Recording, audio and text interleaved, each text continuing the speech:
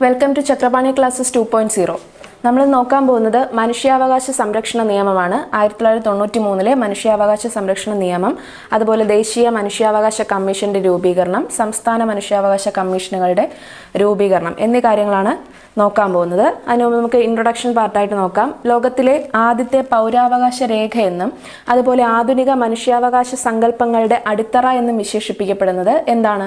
Magna കാർട്ടയാണ്. എന്താണ്? ആധുനിക മനുഷ്യാവകാശ സങ്കല്പങ്ങളുടെ അടിത്തറ എന്ന് വിശേഷിപ്പിക്കുന്നത് മാഗ്ന കാർട്ടയാണ്. മാഗ്ന കാർട്ട ഒപ്പുവെച്ചത് എവിടെയാണ്? ഇംഗ്ലണ്ടിലാണെന്ന് നമുക്കറിയാം. ഇംഗ്ലണ്ടിൽ തന്നെ ഇത് എന്നാണ് ഒപ്പുവെച്ചത്? ആയിരത്തി ഇരുന്നൂറ്റി പതിനഞ്ച് ജൂൺ പതിനഞ്ചിനാണ്. അപ്പോൾ ആദ്യം നമ്മൾ നോക്കുന്നത് Magna കാർട്ടയാണ്. Magna Carta. Magna Carta ഒപ്പുവെച്ചത് ഇംഗ്ലണ്ടിലാണ്. എന്നാണെന്ന് ചോദിച്ചാൽ ആയിരത്തി ഇരുന്നൂറ്റി പതിനഞ്ച് ജൂൺ പതിനഞ്ച്. ജോൺ രണ്ടാമൻ രാജാവാണ് ഒപ്പുവെച്ചത് ഓക്കെ.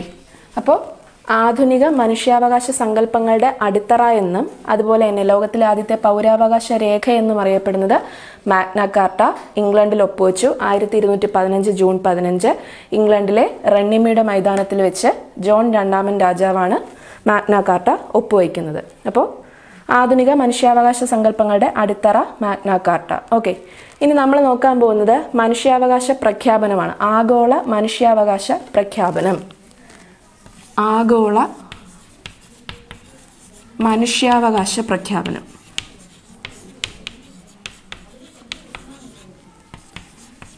അല്ലെങ്കിൽ എന്തെന്ന് പറയാം? Universal declaration of human rights U D H R universal declaration of human rights ആഗോള മനുഷ്യാവകാശ പ്രഖ്യാപനം. എന്നാണ് നടക്കുന്നത്? ആയിരത്തി തൊള്ളായിരത്തി നാൽപ്പത്തി എട്ട് ഡിസംബർ പത്ത്. ഓക്കെ ആയിരത്തി തൊള്ളായിരത്തി നാൽപ്പത്തി എട്ട് ഡിസംബർ പത്തിന് യു എൻ ജനറൽ അസംബ്ലി എന്താണ് ഫ്രാൻസിന്റെ തലസ്ഥാനമായ പാരീസിൽ വെച്ച് ആഗോള മനുഷ്യാവകാശ പ്രഖ്യാപനം നടത്തി. ഈ universal declaration of human rights അറിയപ്പെടുന്നത് റെസല്യൂഷൻ റെസല്യൂഷൻ ഇരുന്നൂറ്റി പതിനേഴ് എന്നാണ്. ഓക്കെ റെസല്യൂഷൻ ഇരുന്നൂറ്റി പതിനേഴ് എന്നാണ്. എന്തറിയപ്പെടുന്നത്? Universal declaration of human rights എന്നാണ് അംഗീകരിച്ചത്. അല്ലെങ്കിൽ ഈ പ്രഖ്യാപനം നടത്തിയത് ആയിരത്തി തൊള്ളായിരത്തി നാൽപ്പത്തി എട്ട് ഡിസംബർ പത്ത്. അപ്പോൾ ഡിസംബർ പത്ത് നമുക്കറിയാം എന്തായിട്ടാണ് ആചരിക്കുന്നത്? മനുഷ്യാവകാശ ദിനമായിട്ടാണ് ആചരിക്കുന്നത്. മനുഷ്യാവകാശ ദിനം എന്ന് മുതലാണ് ആയിരത്തി തൊള്ളായിരത്തി അൻപത് മുതൽ. ഓക്കെ ആയിരത്തി തൊള്ളായിരത്തി അൻപത് മുതൽ ഡിസംബർ പത്തിന് എന്തായിട്ട് ആചരിക്കുന്നു? മനുഷ്യാവകാശ ദിനമായി ആചരിക്കുന്നു. ഇനി നമ്മുടെ universal declaration of human rights അതിന്റെ കരട് രൂപം തയ്യാറാക്കിയ ഒരു ഡ്രാഫ്റ്റിംഗ് കമ്മിറ്റിയുണ്ട് ആ ഡ്രാഫ്റ്റിംഗ് കമ്മിറ്റിയുടെ ചെയർമാൻ ആയിരുന്നു അവർ അല്ലെങ്കിൽ ചെയർപേഴ്സൺ ആയിരുന്നു എലിനോർ റൂസ്വെൽറ്റ് എന്ന് പറയുന്നത്. Eleanor Roosevelt Eleanor Roosevelt okay എന്താണ്? ആഗോള മനുഷ്യാവകാശ പ്രഖ്യാപനത്തിന്റെ കരട് രൂപം തയ്യാറാക്കിയത് യു എന്നിന്റെ ഒരു കമ്മീഷനാണ് U N commission on human rights എന്ന് പറയുന്നതാണ്. അവരുടെ കീഴിൽ രൂപീകരിച്ച ഒരു ഡ്രാഫ്റ്റിംഗ് കമ്മിറ്റിയുണ്ട് ആ ഡ്രാഫ്റ്റിംഗ് കമ്മിറ്റിയാണ് ഈ കരട് രൂപം തയ്യാറാക്കുന്നത്. അത് തയ്യാറാക്കിയ വ്യക്തി അല്ലെങ്കിൽ ആ ഡ്രാഫ്റ്റിംഗ് കമ്മിറ്റിയുടെ ചെയർമാൻ അല്ലെങ്കിൽ ചെയർപേഴ്സൺ എന്നറിയപ്പെടുന്ന ആരാണ്? എലിനോർ റൂസ്വെൽറ്റ് നമ്മുടെ അമേരിക്കൻ പ്രസിഡന്റ് ആയിരുന്ന ഫ്രാങ്ക്ലിൻ ഡി റൂസ്വെൽറ്റിന്റെ വൈഫായിരുന്നു ഓക്കെ എലിനോർ റൂസ്വെൽറ്റ് അപ്പോൾ റെസൊല്യൂഷൻ ഇരുന്നൂറ്റി പതിനേഴ് എന്നറിയപ്പെടുന്ന എന്താണ്? ആഗോള മനുഷ്യാവകാശ പ്രഖ്യാപനം ആയിരത്തി തൊള്ളായിരത്തി നാൽപ്പത്തി എട്ട് ഡിസംബർ പത്തിനാണ് ഈ universal declaration of human rights നടക്കുന്നത് ഡിസംബർ പത്തിന്. അതുകൊണ്ട് തന്നെ നമ്മൾ എന്തെന്ന് വിശേഷിപ്പിക്കുന്നു? അല്ലെങ്കിൽ ആചരിക്കുന്നു? മനുഷ്യാവകാശ ദിനമായി ആചരിക്കുന്നു എന്ന് മുതൽ ആയിരത്തി തൊള്ളായിരത്തി അൻപത് മുതൽ. ഓക്കെ ഇനി ഇതിൽ മുപ്പത് ആർട്ടിക്കിളുകളാണ് ഏതിലുള്ളത്? Universal declaration of human rights മുപ്പത് ആർട്ടിക്കിളുകളാണ് ഉള്ളത്. ഓക്കെ അത്രയും കാര്യങ്ങളാണ് അപ്പോൾ യു ഡി എച്ച് ആറിനെ പറ്റി പറയാനുള്ളത്. ഇനി നമ്മൾ രണ്ട് അന്താരാഷ്ട്ര ഉടമ്പടികളെയാണ് നോക്കുന്നത്. International covenants on covenant on civil and political rights എന്നാണ് international international covenants on civil and political rights അതുപോലെ തന്നെ international covenant on international covenant on economic economic social and cultural rights okay അവകാശങ്ങളുമായി ബന്ധപ്പെട്ട രണ്ട് എന്താണ് കവനന്റ് ഇന്റർനാഷണൽ കവനൻ അല്ലെങ്കിൽ എന്താണ് അന്താരാഷ്ട്ര ഉടമ്പടികളാണ് പറഞ്ഞത്. International coven covenant on civil and political rights അതുപോലെ international covenant on economic social and cultural rights ഇത് രണ്ടും U N assembly general assembly adopt ചെയ്തത് ആയിരത്തി തൊള്ളായിരത്തി അറുപത്തി ആറ് ഡിസംബർ പതിനാറിനാണ്.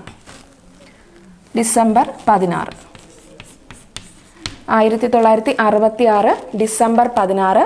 ഇതിനൊരു ഇമ്പോർട്ടൻസ് ഉള്ളതെന്ന് പറഞ്ഞാൽ നമ്മുടെ മനുഷ്യാവകാശ സംരക്ഷണ നിയമത്തിൽ രണ്ട് അന്താരാഷ്ട്ര ഉടമ്പടികൾ അതായത് ഈ രണ്ട് അന്താരാഷ്ട്ര ഉടമ്പടികൾ ഡെഫിനിഷൻസിന്റെ ഭാഗത്ത് പ്രത്യേകം എടുത്ത് പറഞ്ഞിട്ടുണ്ട്. അന്താരാഷ്ട്ര ഉടമ്പടികൾ എന്നാൽ ഈ പറയുന്ന രണ്ടെണ്ണവും ഇനി ബാക്കി എന്തെങ്കിലും ഉണ്ടെങ്കിൽ അതൊക്കെയെന്നും പറഞ്ഞിട്ട് ഡെഫിനിഷൻ പാർട്ടിൽ പറഞ്ഞിട്ടുണ്ട്. അതുകൊണ്ട് ഈ ഒരു ഡേറ്റ് അതിൽ ഡേറ്റ് ഉൾപ്പെടെ അഡോപ്റ്റ് ചെയ്ത ഡേറ്റ് ഉൾപ്പെടെ അതിൽ പരാമർശിച്ച് പോയിട്ടുണ്ട്. അതുകൊണ്ട് മാത്രമാണ് പറഞ്ഞത്. International covenant on civil and political rights അതുപോലെ international covenant on economic social and cultural rights രണ്ടും യു എന്നിന്റെ ജനറൽ അസംബ്ലി അഡോപ്റ്റ് ചെയ്ത തീയതി ആയിരത്തി തൊള്ളായിരത്തി അറുപത്തി ആറ് ഡിസംബർ പതിനാറിനാണ്. ഇനി നമ്മൾ നോക്കുന്നത് പാരീസ് പ്രിൻസിപ്പിൾസ് ആണ്. പാരീസ് പ്രിൻസിപ്പിൾസ് ആയിരത്തി തൊള്ളായിരത്തി തൊണ്ണൂറ്റി ഒന്നിലെ പാരീസ് പ്രിൻസിപ്പിൾസ് ആണ്. അതായത് ആയിരത്തി തൊള്ളായിരത്തി തൊണ്ണൂറ്റി ഒന്നിൽ പാരീസിൽ ചേർന്ന യു ഒരു യു എന്നിന്റെ മീറ്റിംഗിൽ ഐക്യരാഷ്ട്ര സംഘടനയുടെ ഒരു മീറ്റിംഗിൽ ദേശീയ മനുഷ്യാവകാശ സ്ഥാപനങ്ങൾ രൂപീകരിക്കുന്നതിന്റെ തത്വങ്ങൾ വികസിപ്പിച്ചെടുത്തു. ഇതിനെയാണ് എന്തെന്ന് പറയുന്നത്? പാരീസ് പ്രിൻസിപ്പിൾസ് അല്ലെങ്കിൽ പാരീസ് തത്വങ്ങൾ എന്നറിയപ്പെടുന്നത്. അപ്പോൾ എന്തിനു വേണ്ടിയിട്ടാണ്? ദേശീയ മനുഷ്യാവകാശ സ്ഥാപനങ്ങൾ രൂപീകരി രൂപീകരിക്കുന്നതിനുള്ള തത്വങ്ങളാണ് വികസിപ്പിച്ചത് വികസിപ്പിച്ചെടുത്തത്. അപ്പോൾ ഈ പാരീസ് പ്രിൻസിപ്പിൾസ് യു എന്റെ ജനറൽ അസംബ്ലി അംഗീകരിച്ചത് ആയിരത്തി തൊള്ളായിരത്തി തൊണ്ണൂറ്റി മൂന്നിലാണ് ഓക്കെ യു എൻ അംഗീകരിച്ചു. ഓക്കെ അപ്പോൾ പാരീസ് പ്രിൻസിപ്പിൾസ് ആയിരത്തി തൊള്ളായിരത്തി തൊണ്ണൂറ്റി ഒന്നിലാണ് നടക്കുന്നത്. പാരീസ് പ്രിൻസിപ്പിൾസ് പാരീസിൽ ചേർന്ന ഒരു യു എന്റെ മീറ്റിങ്ങിൽ അംഗീകരിച്ചു. എന്ത് എന്താണ് അതിന്റെ ലക്ഷ്യമെന്ന് പറയുന്നത്? ദേശീയ മനുഷ്യാവകാശ സ്ഥാപനങ്ങൾ രൂപീകരിക്കുന്നതിന്റെ തത്വങ്ങളാണ് അവിടെ വികസിപ്പിച്ചെടുത്തത്.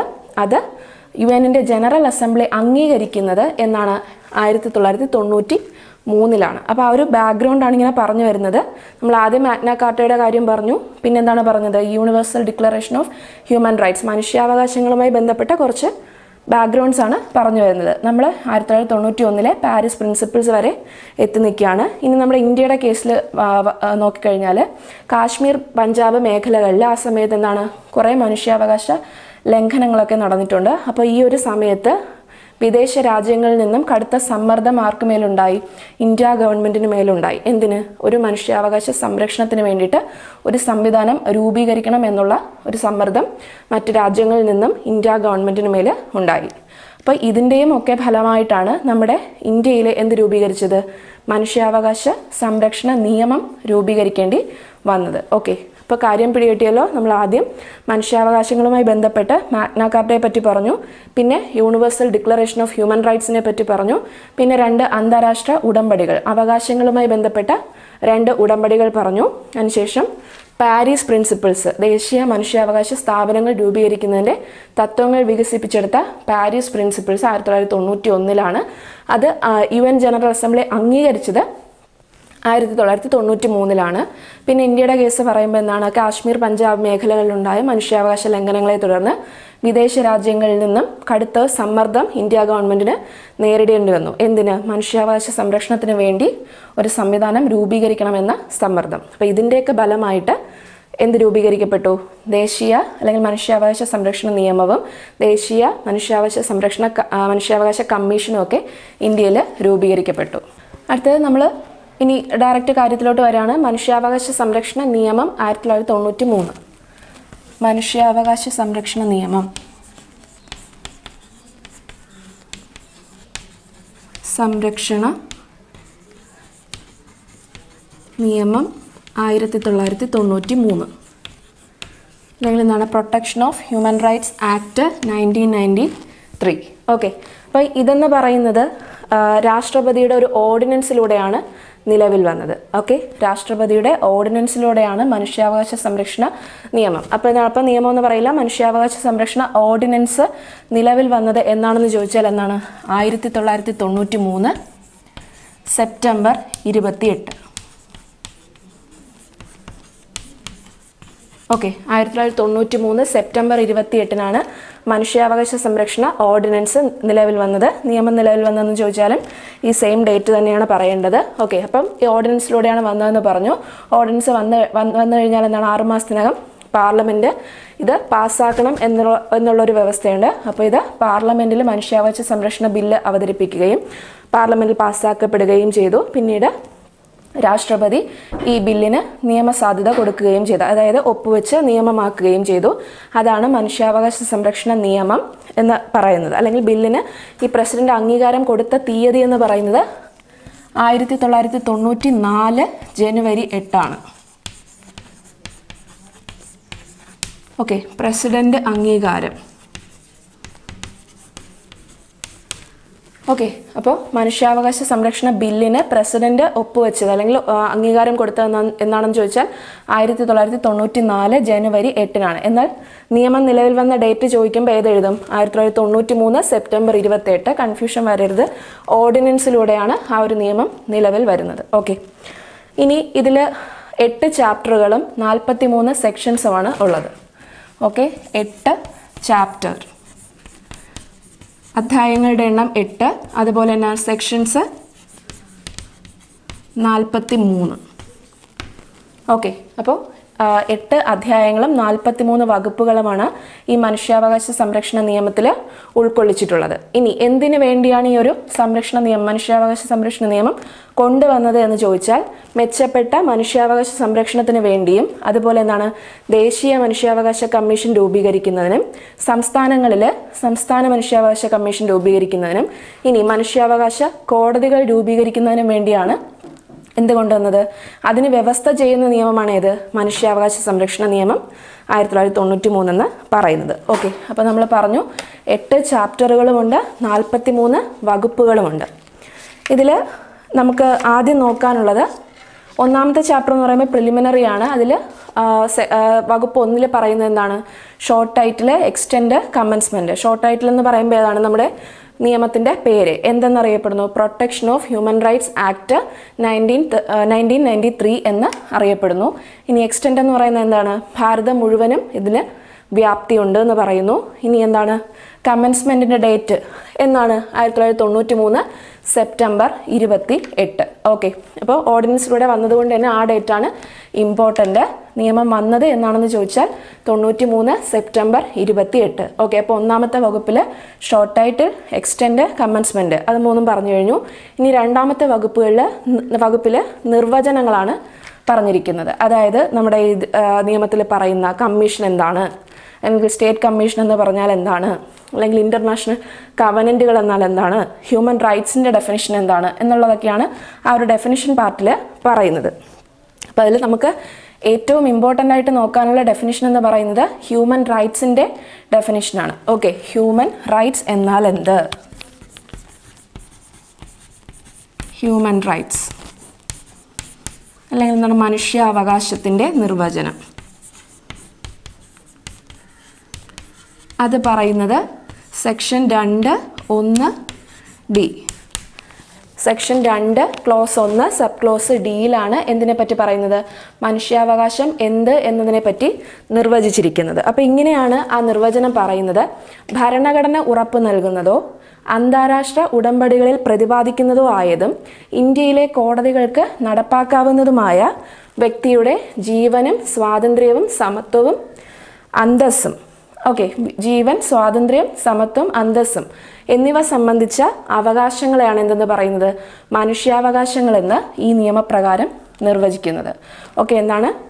ഭരണഘടന ഉറപ്പു നൽകാവുന്നതോ അല്ലെങ്കിൽ എന്താണ്? അന്താരാഷ്ട്ര ഉടമ്പടികളിൽ ചേർത്തിട്ടുള്ളതോ ആയ എന്താണ്? അതുപോലെ തന്നെ ഇന്ത്യയിലെ കോടതികൾക്ക് നടപ്പാക്കാവുന്നതുമായിട്ടുള്ള വ്യക്തിയുടെ ജീവനും സ്വാതന്ത്ര്യവും സമത്വവും അന്തസ്സും ഉറപ്പു നൽകുന്ന എന്താണ്? അല്ലെങ്കിൽ അന്തസ്സും സംബന്ധിച്ച അവകാശങ്ങളെയാണ് മനുഷ്യാവകാശം എന്നതുകൊണ്ട് ഉദ്ദേശിക്കുന്നത്. ഇതാണ് സെക്ഷൻ രണ്ട് ഒന്ന് ഡിയിൽ പറഞ്ഞിരിക്കുന്ന മനുഷ്യാവകാശത്തിന്റെ നിർവചനം. ഓക്കെ.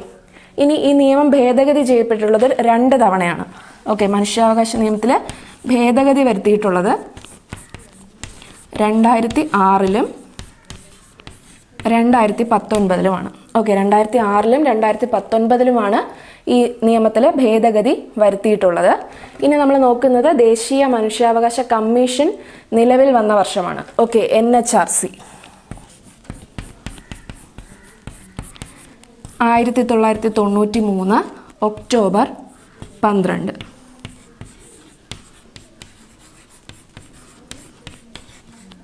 ഓക്കെ ഇപ്പോൾ രണ്ട് ഡേറ്റുകളാണ് ഇമ്പോർട്ടന്റ് ആയിട്ട് നോക്കാനുള്ളത്. മനുഷ്യാവകാശ സംരക്ഷണ നിയമം ആയിരത്തി തൊള്ളായിരത്തി തൊണ്ണൂറ്റി മൂന്ന് നിലവിൽ വന്നത് എന്നെന്ന് ചോദിച്ചാൽ ആയിരത്തി തൊള്ളായിരത്തി തൊണ്ണൂറ്റി മൂന്ന് സെപ്റ്റംബർ ഇരുപത്തിയെട്ട്. എന്നാൽ ദേശീയ മനുഷ്യാവകാശ കമ്മീഷൻ നിലവിൽ വന്നത് എന്നെന്ന് ചോദിച്ചാൽ ആയിരത്തി തൊള്ളായിരത്തി തൊണ്ണൂറ്റി മൂന്ന് ഒക്ടോബർ പന്ത്രണ്ടിനാണ്. ഓക്കെ. അപ്പോൾ മനുഷ്യാവകാശ സംരക്ഷണ നിയമം ഒരു ഓർഡിനൻസിലൂടെയാണ് വന്നതെന്ന് പറഞ്ഞു. ആ ഓർഡിനൻസിനെ പിന്നീട് പാർലമെന്റിൽ പാസ്സാക്കുക അല്ലെങ്കിൽ മനുഷ്യാവകാശ സംരക്ഷണ ബില്ല് അവതരിപ്പിച്ച് പാർലമെന്റ് പാസ്സാക്കി. അതിന് പ്രസിഡന്റിന്റെ അംഗീകാരം ലഭിക്കുന്നത് ആയിരത്തി തൊള്ളായിരത്തി തൊണ്ണൂറ്റി നാല് ജനുവരി എട്ടിനാണെന്നും പറഞ്ഞു. എട്ട് ചാപ്റ്ററുകളും നാൽപ്പത്തി മൂന്ന് വകുപ്പുകളും സെക്ഷൻസുമാണ് ഈ നിയമത്തിലുള്ളത്. എന്തിനാണ് നിയമം കൊണ്ടുവന്നത്? അല്ലെങ്കിൽ ആ ഒരു വ്യവസ്ഥ ചെയ്യുന്നത് എന്തൊക്കെയാണ്? മെച്ചപ്പെട്ട മനുഷ്യാവകാശ സംരക്ഷണത്തിന് വേണ്ടിയിട്ടുള്ള ദേശീയ മനുഷ്യാവകാശ കമ്മീഷന്റെ രൂപീകരണം അതുപോലെ സംസ്ഥാന മനുഷ്യാവകാശ കമ്മീഷനുകളുടെ രൂപീകരണം അതുപോലെ മനുഷ്യാവകാശ കോടതികളുടെ രൂപീകരണം. ഇത്രയും കാര്യങ്ങളാണ് ഇതിൽ വ്യവസ്ഥ ചെയ്യുന്നത് പ്രധാനമായി പ്രധാനമായിട്ടും. ഓക്കെ. പിന്നെ നമ്മൾ പറഞ്ഞു സെക്ഷൻ ഒന്നിൽ പറയുന്നത്. ചാപ്റ്റർ ഒന്നെന്ന് പറയുമ്പോൾ പ്രിലിമിനറി അതിൽ രണ്ട് സെക്ഷൻ സെക്ഷൻസ് ആണുള്ളത്. ഒന്നും രണ്ടും. അല്ല ഒന്നിൽ പറയുന്നത് ഷോർട്ട് ടൈറ്റിൽ എക്സ്റ്റെൻഡ് കമൻസ്മെന്റ് ആണെന്ന് പറഞ്ഞു. രണ്ടാമത്തതിൽ നിർവചനമാണ് അല്ല ഏറ്റവും പ്രധാനപ്പെട്ട നിർവചനമാണ് പറഞ്ഞത്. സെക്ഷൻ രണ്ട് ഒന്ന് ഡിയിൽ പറഞ്ഞിരിക്കുന്ന ഹ്യൂമൻ റൈറ്റ്സ് അല്ലെങ്കിൽ മനുഷ്യാവകാശം എന്നതിന്റെ നിർവചനം. ഓക്കെ പിന്നെ പറഞ്ഞത് ഭേദഗതി ചെയ്ത രണ്ട് വർഷങ്ങൾ ഏതൊക്കെയാണ്? രണ്ടായിരത്തി ആറും രണ്ടായിരത്തി പത്തൊൻപതും ഇനി N H R C national human rights commission നിലവിൽ വന്നത് തൊണ്ണൂറ്റി മൂന്ന് ഒക്ടോബർ പന്ത്രണ്ടിനാണെന്നും പറഞ്ഞു. അടുത്തത് നമ്മൾ നോക്കാൻ പോകുന്നത് ദേശീയ മനുഷ്യാവകാശ കമ്മീഷനാണ്. ദേശീയ മനുഷ്യാവകാശ commission N H R C national human rights commission. അപ്പോൾ ഈ എൻ എച്ച് ആർ സിയുടെ വിശേഷണം എന്ന് പറയുന്നത് ഇന്ത്യയിലെ മനുഷ്യാവകാശങ്ങളുടെ കാവൽക്കാരൻ എന്നാണ് ഇന്ത്യയിലെ മനുഷ്യാവകാശങ്ങളുടെ കാവൽക്കാരൻ എന്ന് വിശേഷിപ്പിക്കപ്പെടുന്നത് ആരെയാണ്? ദേശീയ മനുഷ്യാവകാശ കമ്മീഷനെയാണ്. അതുപോലെ തന്നെ ഇത് എന്ത് തരം സ്ഥാപനമാണ്? സ്റ്റാറ്റ്യൂട്ടറി ബോഡിയാണ്. സ്റ്റാറ്റ്യൂട്ടറി ബോഡിയാണ്. എന്ന് പറയുമ്പോൾ എന്താണ്? ഒരു നിയമപ്രകാരം രൂപീകൃതമായ സ്ഥാപനമാണ്. ആ നിയമം ഏതാണ്? അതാണ് മനുഷ്യാവകാശ സംരക്ഷണ നിയമം ആയിരത്തി തൊള്ളായിരത്തി തൊണ്ണൂറ്റി മൂന്ന് അതിന് പ്രകാരം രൂപീകരിക്കപ്പെട്ട ഒരു സ്ഥാപനമായതുകൊണ്ട് തന്നെ ഇതിനെ ഒരു സ്റ്റാറ്റ്യൂട്ടറി ബോഡിയായിട്ടാണ് പരിഗണിക്കുന്നത് അല്ലെങ്കിൽ കണക്കാക്കുന്നത്. ഇനി ഇതിന്റെ മോട്ടോ എന്ന് പറയുന്നത് എന്താണ്? സർവേ ഭവന്തു സുഖിന. സർവേ ഭവന്തു സുഖിന. ഓക്കെ. അപ്പോൾ ഇന്ത്യയിലെ മനുഷ്യാവകാശങ്ങളുടെ കാവൽക്കാരൻ എന്നറിയപ്പെടുന്നു മോട്ടോ എന്ന് പറയുന്നത് സർവേ ഭവന്തു സുഖിന എന്ത് തരം സ്ഥാപനമാണെന്ന് ചോദിച്ചാൽ ഒരു സ്റ്റാറ്റ്യൂട്ടറി സ്ഥാപനമാണ്. ഇനി നമ്മൾ നോക്കാൻ പോകുന്നത് ഈ മനുഷ്യാവകാശ സംരക്ഷണ നിയമത്തിൽ ഈ എൻ എച്ച് ആർ സിയെ പറ്റി പറയുന്ന അധ്യായം ഏതെന്നാണ്. ഓക്കെ. അപ്പോൾ എൻ എച്ച് ആർ സിയെ പറ്റി ഈ നിയമത്തിൽ പറയുന്നത് ചാപ്റ്റർ രണ്ടിലാണ്. ചാപ്റ്റർ രണ്ട്. ഓക്കെ.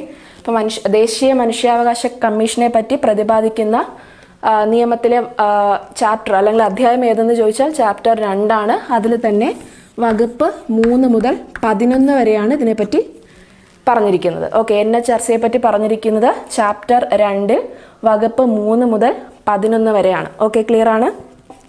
അതിൽ ഈ ഇന്ത്യ ഗവൺമെന്റ് മനുഷ്യാവകാശ കമ്മീഷൻ ദേശീയ മനുഷ്യാവകാശ കമ്മീഷൻ രൂപീകരിക്കണം എന്ന് പറഞ്ഞിരിക്കുന്ന വകുപ്പാണ് സെക്ഷൻ മൂന്ന് ഒന്ന്. സെക്ഷൻ മൂന്നിലൊന്നാണ് എൻ എച്ച് ആർ സിയുടെ രൂപീകരണം.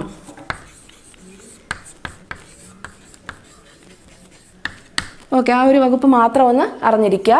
ചാപ്റ്റർ രണ്ട് മൂന്ന് മുതൽ പതിനൊന്ന് വരെയാണ് പറയുന്നത്. അതിൽ തന്നെ സെക്ഷൻ മൂന്ന് ഒന്നിലാണ് ഈ ദേശീയ മനുഷ്യാവകാശ കമ്മീഷനെ രൂപീകരിക്കണമെന്ന് പറഞ്ഞിട്ടുള്ളത്. ഇനി നോക്കുന്നത് എൻ എച്ച് ആർ സിയിലെ അംഗങ്ങളാണ്. ഈ താഴെ പറയുന്നതെല്ലാം ഈ എന്താണ് ഇനി പറയുന്നതെല്ലാം ഇനി നിയമത്തിൽ പ്രതിപാദിച്ചിട്ടുള്ള കാര്യങ്ങളാണ് ഈ പറയുന്നത്. ഇനി ഇതിലെ അംഗങ്ങളുടെ എണ്ണം. ദേശീയ മനുഷ്യാവകാശ കമ്മീഷനിലെ അംഗങ്ങളുടെ എണ്ണം എന്ന് പറയുന്നത് ആറാണ്. എങ്ങനെ എഴുതാം? ഒന്ന് പ്ലസ് അഞ്ച്. ഒരു ചെയർപേഴ്സണും അഞ്ച് മറ്റ് അംഗങ്ങളുമാണ് ഉൾപ്പെടുന്നത്. അങ്ങനെ മൊത്തം ആറ് പേരാണ് ദേശീയ മനുഷ്യാവകാശ കമ്മീഷനിലെ അംഗസംഖ്യ എന്ന് പറയുന്നത്. ഇനി ഇതിൽ തന്നെ ഓരോരുത്തരുടെയും യോഗ്യതയും പറയണം. അപ്പോൾ ആറ് പേരിൽ ഒന്നാമത്തെ ആളെന്ന് പറയുമ്പോൾ ആരായിരിക്കും? അതിന്റെ ചെയർമാൻ തന്നെയായിരിക്കും. ചെയർമാന്റെ യോഗ്യത എന്ന് പറയുന്നത് സുപ്രീം കോടതിയിൽ നിന്നും വിരമിച്ച സുപ്രീം കോടതിയിൽ നിന്നും വിരമിച്ച ചീഫ് ജസ്റ്റിസ് അല്ലെങ്കിൽ വിരമിച്ച ജഡ്ജി. ഓക്കെ അപ്പോൾ ആറ് അംഗങ്ങളിൽ ചെയർമാന്റെ യോഗ്യത എന്ന് പറയുന്നത് സുപ്രീം കോടതിയിൽ നിന്നും വിരമിച്ച ചീഫ് ജസ്റ്റിസോ അല്ലെങ്കിൽ സുപ്രീം കോടതിയിൽ നിന്ന് വിരമിച്ച ഒരു ജഡ്ജിയോ ആകാം ആര്? ചെയർമാൻ. രണ്ടാമത്തെ ആളെന്ന് പറയുന്നത് രണ്ടാമത്തെ അംഗത്തിന്റെ യോഗ്യത എന്ന് പറയുന്നത് സുപ്രീം കോടതിയിൽ നിലവിലുള്ളതോ വിരമിച്ചതോ ആയ ഒരു ജഡ്ജി. ഓക്കെ. അപ്പോൾ രണ്ടാമത്തെ അംഗത്തിന്റെ യോഗ്യത എന്ന് പറയുന്നത് സുപ്രീം കോടതിയിൽ നിലവിലുള്ളതോ വിരമിച്ചതോ ആയ ഒരു ജഡ്ജി. ഇനി മൂന്നാമത്തെ ആളിന്റെ യോഗ്യത എന്ന് പറയുന്നത് സെയിം തന്നെയാണ്. ഹൈക്കോടതിയിൽ നിലവിലുള്ളതോ വിരമിച്ചതോ ആയ ചീഫ് ജസ്റ്റിസ്. നിലവിലുള്ളതോ വിരമിച്ചതോ ആയ ചീഫ് ജസ്റ്റിസ്. ഓക്കെ അപ്പോൾ ആദ്യത്തെ മൂന്ന് പേരുടെ യോഗ്യതകൾ കറക്റ്റ് പഠിച്ചു വെച്ചേക്കുക ഒന്നാമത്തെ ആൾ ചെയർമാൻ തന്നെയായിരിക്കും. ചെയർമാന്റെ യോഗ്യത സുപ്രീം കോടതിയിൽ നിന്നും വിരമിച്ച ചീഫ് ജസ്റ്റിസോ അല്ലെങ്കിൽ വിരമിച്ച ജഡ്ജിയോ ആകാം. രണ്ടാമത്തെ ആളുടെ യോഗ്യത സുപ്രീം കോടതിയിൽ നിലവിലുള്ളതോ വിരമിച്ചതോ ആയ ഒരു ജഡ്ജി.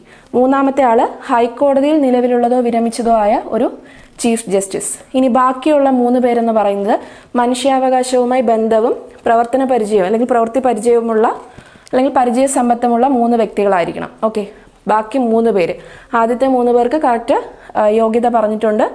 അടുത്ത മൂന്ന് പേരുടെ യോഗ്യത ഇങ്ങനെയാണ് പറഞ്ഞിരിക്കുന്നത്. മനുഷ്യാവകാശവുമായി ബന്ധവും പരിചയ സമ്പത്തുമുള്ള മൂന്ന് വ്യക്തികൾ അതിൽ ഒരു വനിത നിർബന്ധം.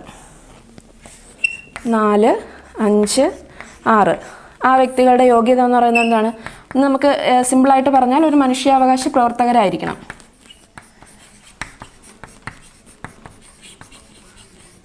മനുഷ്യാവകാശ പ്രവർത്തകർ അതിലൊരു വനിത നിർബന്ധം.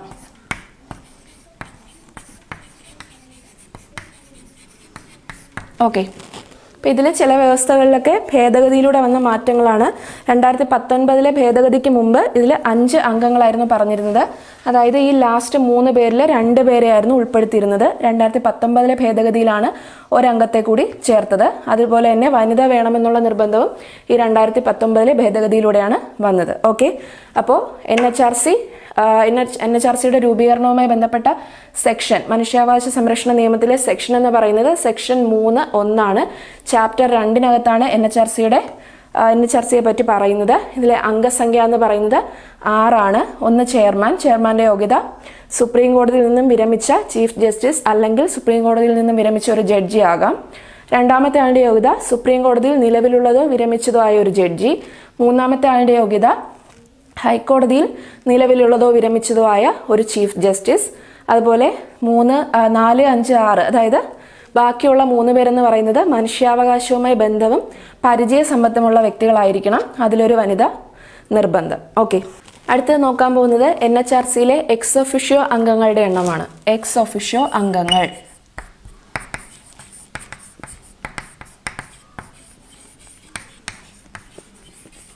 എക്സ് ഓഫിഷ്യോ അംഗങ്ങളുടെ എണ്ണം ഏഴാണ്. രണ്ടായിരത്തി പത്തൊമ്പതിലെ ഭേദഗതിക്ക് മുമ്പ് നാലായിരുന്നു. പത്തൊമ്പതിലെ ഭേദഗതിയിലൂടെയാണ് മൂന്ന് പേരെ കൂടെ ചേർത്ത് ഏഴാക്കിയത്. ഓക്കെ അപ്പോൾ എൻ എച്ച് ആർ സിയിലെ അംഗങ്ങളുടെ എണ്ണം എത്രയാണെന്ന് ചോദിച്ചാൽ ആറ്. എക്സ് ഒഫിഷ്യോ അംഗങ്ങളുടെ എണ്ണം എത്രയാണെന്ന് ചോദിച്ചാൽ ഏഴാണ്. ഓക്കെ എക്സ് ഒഫിഷ്യോ എന്ന് പറയുമ്പോൾ മറ്റൊരു പദവിയിൽ നിന്നും ലഭിക്കുന്ന പദവി എന്നാണ് മീനിങ് എക്സ് ഒഫിഷ്യോ അംഗങ്ങളുടെ എണ്ണം ഏഴാണ്. അത് ആരൊക്കെയാണെന്ന് ഒന്ന് നോക്കാം. ആദ്യത്തെ നാല് പേര് മുമ്പ് ഉണ്ടായി മുമ്പേ ഉണ്ടായിരുന്നവരാണ്. അതായത് രണ്ടായിരത്തി പത്തൊമ്പതിലെ ഭേദഗതിക്ക് മുമ്പ് ഉണ്ടായിരുന്നവരാണ്. ഒന്നാമത്തെ ആൾ ദേശീയ ന്യൂനപക്ഷ കമ്മീഷൻ ചെയർമാൻ. ന്യൂനപക്ഷ കമ്മീഷൻ ചെയർമാൻ. അടുത്ത രണ്ടാമത്തെ ആൾ എസ് സി കമ്മീഷൻ ചെയർമാൻ പട്ടികജാതി കമ്മീഷൻ ചെയർമാൻ. അടുത്തത് പട്ടികവർഗ കമ്മീഷൻ ചെയർമാൻ. അടുത്തത് വനിതാ കമ്മീഷൻ ചെയർപേഴ്സൺ ദേശീയ വനിതാ കമ്മീഷൻ ചെയർപേഴ്സൺ. ഇത്രയും ഈ നാല് പേര് ആദ്യമേ ഉണ്ടായി രണ്ടായിരത്തി പത്തൊമ്പതിലെ ഭേദഗതിക്ക് മുമ്പ് ഉണ്ടായിരുന്നവരാണ്. ഓക്കെ? ആരൊക്കെയാണ്? ന്യൂനപക്ഷ ദേശീയ ന്യൂനപക്ഷ കമ്മീഷൻ ചെയർമാൻ ദേശീയ പട്ടികജാതി കമ്മീഷൻ ചെയർമാൻ ദേശീയ പട്ടികവർഗ കമ്മീഷൻ ചെയർമാൻ അടുത്തത് ദേശീയ വനിതാ കമ്മീഷൻ ചെയർപേഴ്സൺ. ഇനി വന്ന മൂന്ന് പേരാണ്. അഞ്ചാമത്തെ ആൾ ദേശീയ പിന്നാക്ക വിഭാഗ കമ്മീഷൻ ചെയർമാൻ. ദേശീയ പിന്നാക്ക വിഭാഗ കമ്മീഷൻ ചെയർമാൻ. അതുപോലെ അടുത്തത് ദേശീയ ബാലാവകാശ കമ്മീഷൻ ചെയർമാൻ. ദേശീയ ബാലാവകാശ കമ്മീഷൻ ചെയർമാൻ. അതുപോലെ ഏഴാമത്തത് ഭിന്നശേഷി വികസന കമ്മീഷൻ ചീഫ് കമ്മീഷണർ. ഓക്കെ ഭിന്നശേഷി വികസന കമ്മീഷന്റെ ചീഫ് കമ്മീഷണറാണ്. ഓക്കെ ഭിന്നശേഷി വികസന കമ്മീഷൻ കമ്മീഷൻ ചീഫ് കമ്മീഷണർ കൂടിയാണ്. അങ്ങനെ മൊത്തം ഏഴ് പേരാണ് എക്സ് ഒഫിഷ്യോ അംഗങ്ങളായിട്ട് ഉള്ളത്. എവിടെ? എൻ എച്ച് ആർ സിക്ക്. എൻ എച്ച് ആർ സിയുടെ അംഗങ്ങളുടെ എണ്ണം ആറ് എക്സ് ഒഫിഷ്യോ അംഗങ്ങളുടെ എണ്ണം ഏഴ്. ആരൊക്കെയാണെന്ന് ചോദിച്ചാൽ ദേശീയ ന്യൂനപക്ഷ കമ്മീഷൻ ചെയർമാൻ ദേശീയ പട്ടികജാതി കമ്മീഷൻ ചെയർമാൻ ദേശീയ പട്ടികവർഗ കമ്മീഷൻ ചെയർമാൻ ദേശീയ വനിതാ കമ്മീഷൻ ചെയർപേഴ്സൺ അതുപോലെ ദേശീയ പിന്നാക്ക വിഭാഗ കമ്മീഷൻ ചെയർമാൻ ദേശീയ ബാലാവകാശ കമ്മീഷൻ ചെയർമാൻ അതുപോലെ ഭിന്നശേഷി വികസന കമ്മീഷന്റെ ചീഫ് കമ്മീഷണർ. ഓക്കെ. ഇത്രയും പേരാണ് എക്സ് ഒഫിഷ്യോ അംഗങ്ങളെന്ന് പറയുന്നത്. അടുത്ത പറയുന്നത് ഈ എൻ എച്ച് ആർ സിയുടെ സിഇഒ ആണ്. സിഇഒ ആരെന്ന് ചോദിച്ചാൽ സെക്രട്ടറി ജനറൽ ആണ്. പി എസ് സിക്ക് ചോദിച്ചിട്ടുള്ളതാണ്. ദേശീയ മനുഷ്യാവകാശ കമ്മീഷന്റെ എന്താണ് മുഖ്യ കാര്യനിർവഹണ ഉദ്യോഗസ്ഥൻ ആര് എന്നുള്ളതായിരുന്നു പി എസ് സിയുടെ ചോദ്യം. ആൻസർ എന്താണ്? Secretary general. Okay CEO of N H R C എന്ന് പറയുന്ന ആരാണ്? Secretary general. അതായത് ഇന്ത്യ ഗവൺമെന്റിന്റെ സെക്രട്ടറി പദവി വഹിക്കുന്ന ആ ഒരു പദവിക്ക് തുല്യമായിട്ടുള്ള ആളായിരിക്കണം ആര് ആരെന്ന് പറയുന്നത് ഈ സെക്രട്ടറി ജനറൽ പദവി വഹിക്കേണ്ടത്. ഓക്കെ അപ്പോൾ സിഇഒ എന്ന് പറയുന്ന ആരാണ്? സെക്രട്ടറി ജനറൽ ആണ്. അംഗങ്ങളുടെ എണ്ണം ആറ് എക്സ് ഒഫിഷ്യോ അംഗങ്ങളുടെ എണ്ണം ഏഴാണ്. ഇനി ഹെഡ് ക്വാർട്ടേഴ്സ് ആണ് പറയുന്നത്. എൻ എച്ച് ആർ സിയുടെ ഹെഡ് ക്വാർട്ടേഴ്സ് എന്ന് പറയുമ്പോൾ എവിടെയാണ് ന്യൂഡൽഹിയാണ് ന്യൂഡൽഹി അതിന്റെ പേര് സർദാർ പട്ടേൽ ഭവൻ.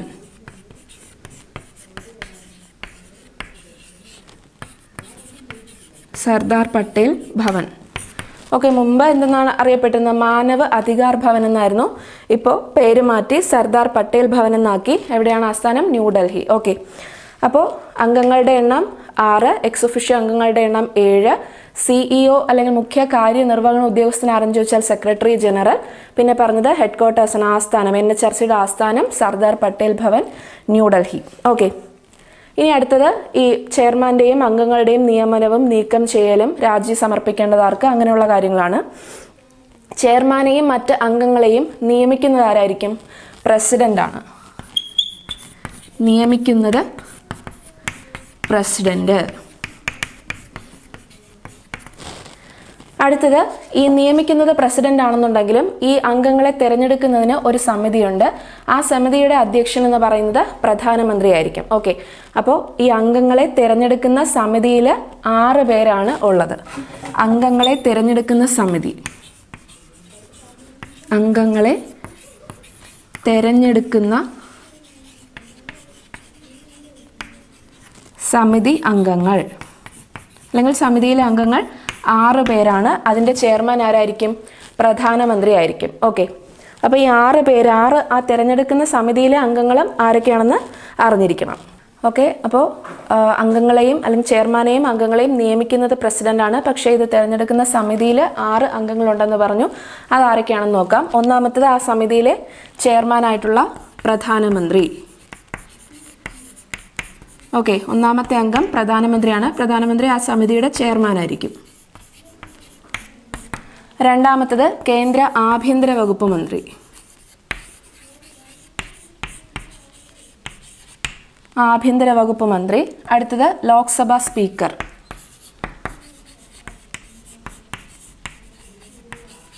അടുത്തത് ലോക്സഭ പ്രതിപക്ഷ നേതാവ്. ഓക്കെ അടുത്തത് രാജ്യസഭ ഡെപ്യൂട്ടി ചെയർമാൻ.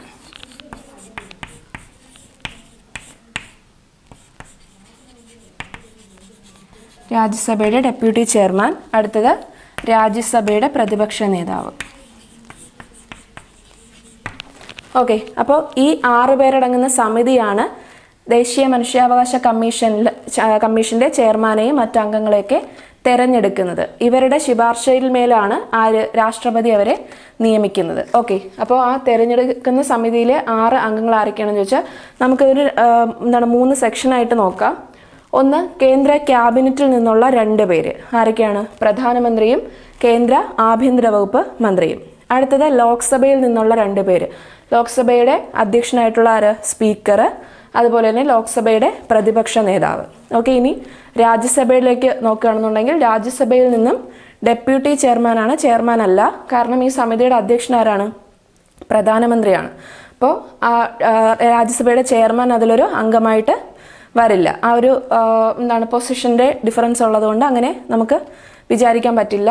രാജ്യസഭയുടെ ഡെപ്യൂട്ടി ചെയർമാൻ അതുപോലെ രാജ്യസഭയിൽ നിന്നും പ്രതിപക്ഷ നേതാവ്. അങ്ങനെ ഒന്ന് കണക്ട് ചെയ്ത് ഓർമ്മിച്ചിരുന്ന കിട്ടും. പെട്ടെന്ന് പഠിക്കാൻ എളുപ്പമായിരിക്കും. ക്യാബിനറ്റിൽ നിന്ന് രണ്ടുപേര് പ്രധാനമന്ത്രിയും കേന്ദ്ര ആഭ്യന്തര വകുപ്പ് മന്ത്രിയും ലോക്സഭയിൽ നിന്ന് സ്പീക്കറും പ്രതിപക്ഷ നേതാവും രാജ്യസഭയിൽ നിന്ന് ഡെപ്യൂട്ടി ചെയർമാനും പ്രതിപക്ഷ നേതാവും. ഓക്കെ അങ്ങനെ ആറ് പേരടങ്ങുന്ന സമിതിയാണ് അംഗങ്ങളെ തിരഞ്ഞെടുക്കുന്നത്.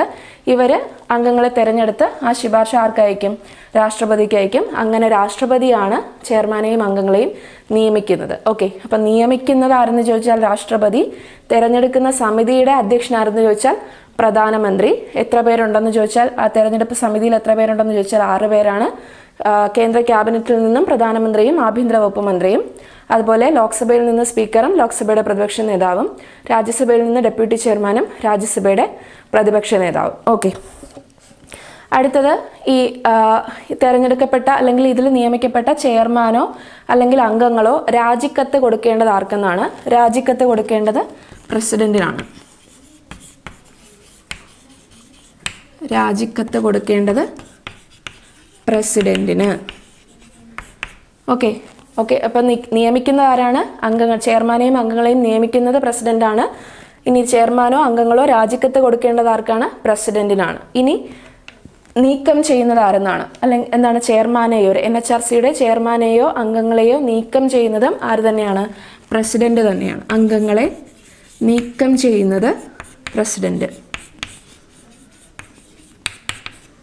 ഓക്കെ. അപ്പം നിയമിക്കുന്നത് പ്രസിഡന്റ് നീക്കം ചെയ്യുന്നത് പ്രസിഡന്റ് രാജിക്കത്ത് കൊടുക്കേണ്ടത് പ്രസിഡന്റിന്. ഇനി നീക്കം ചെയ്യുന്നതിനുള്ള കാരണങ്ങളാണ്.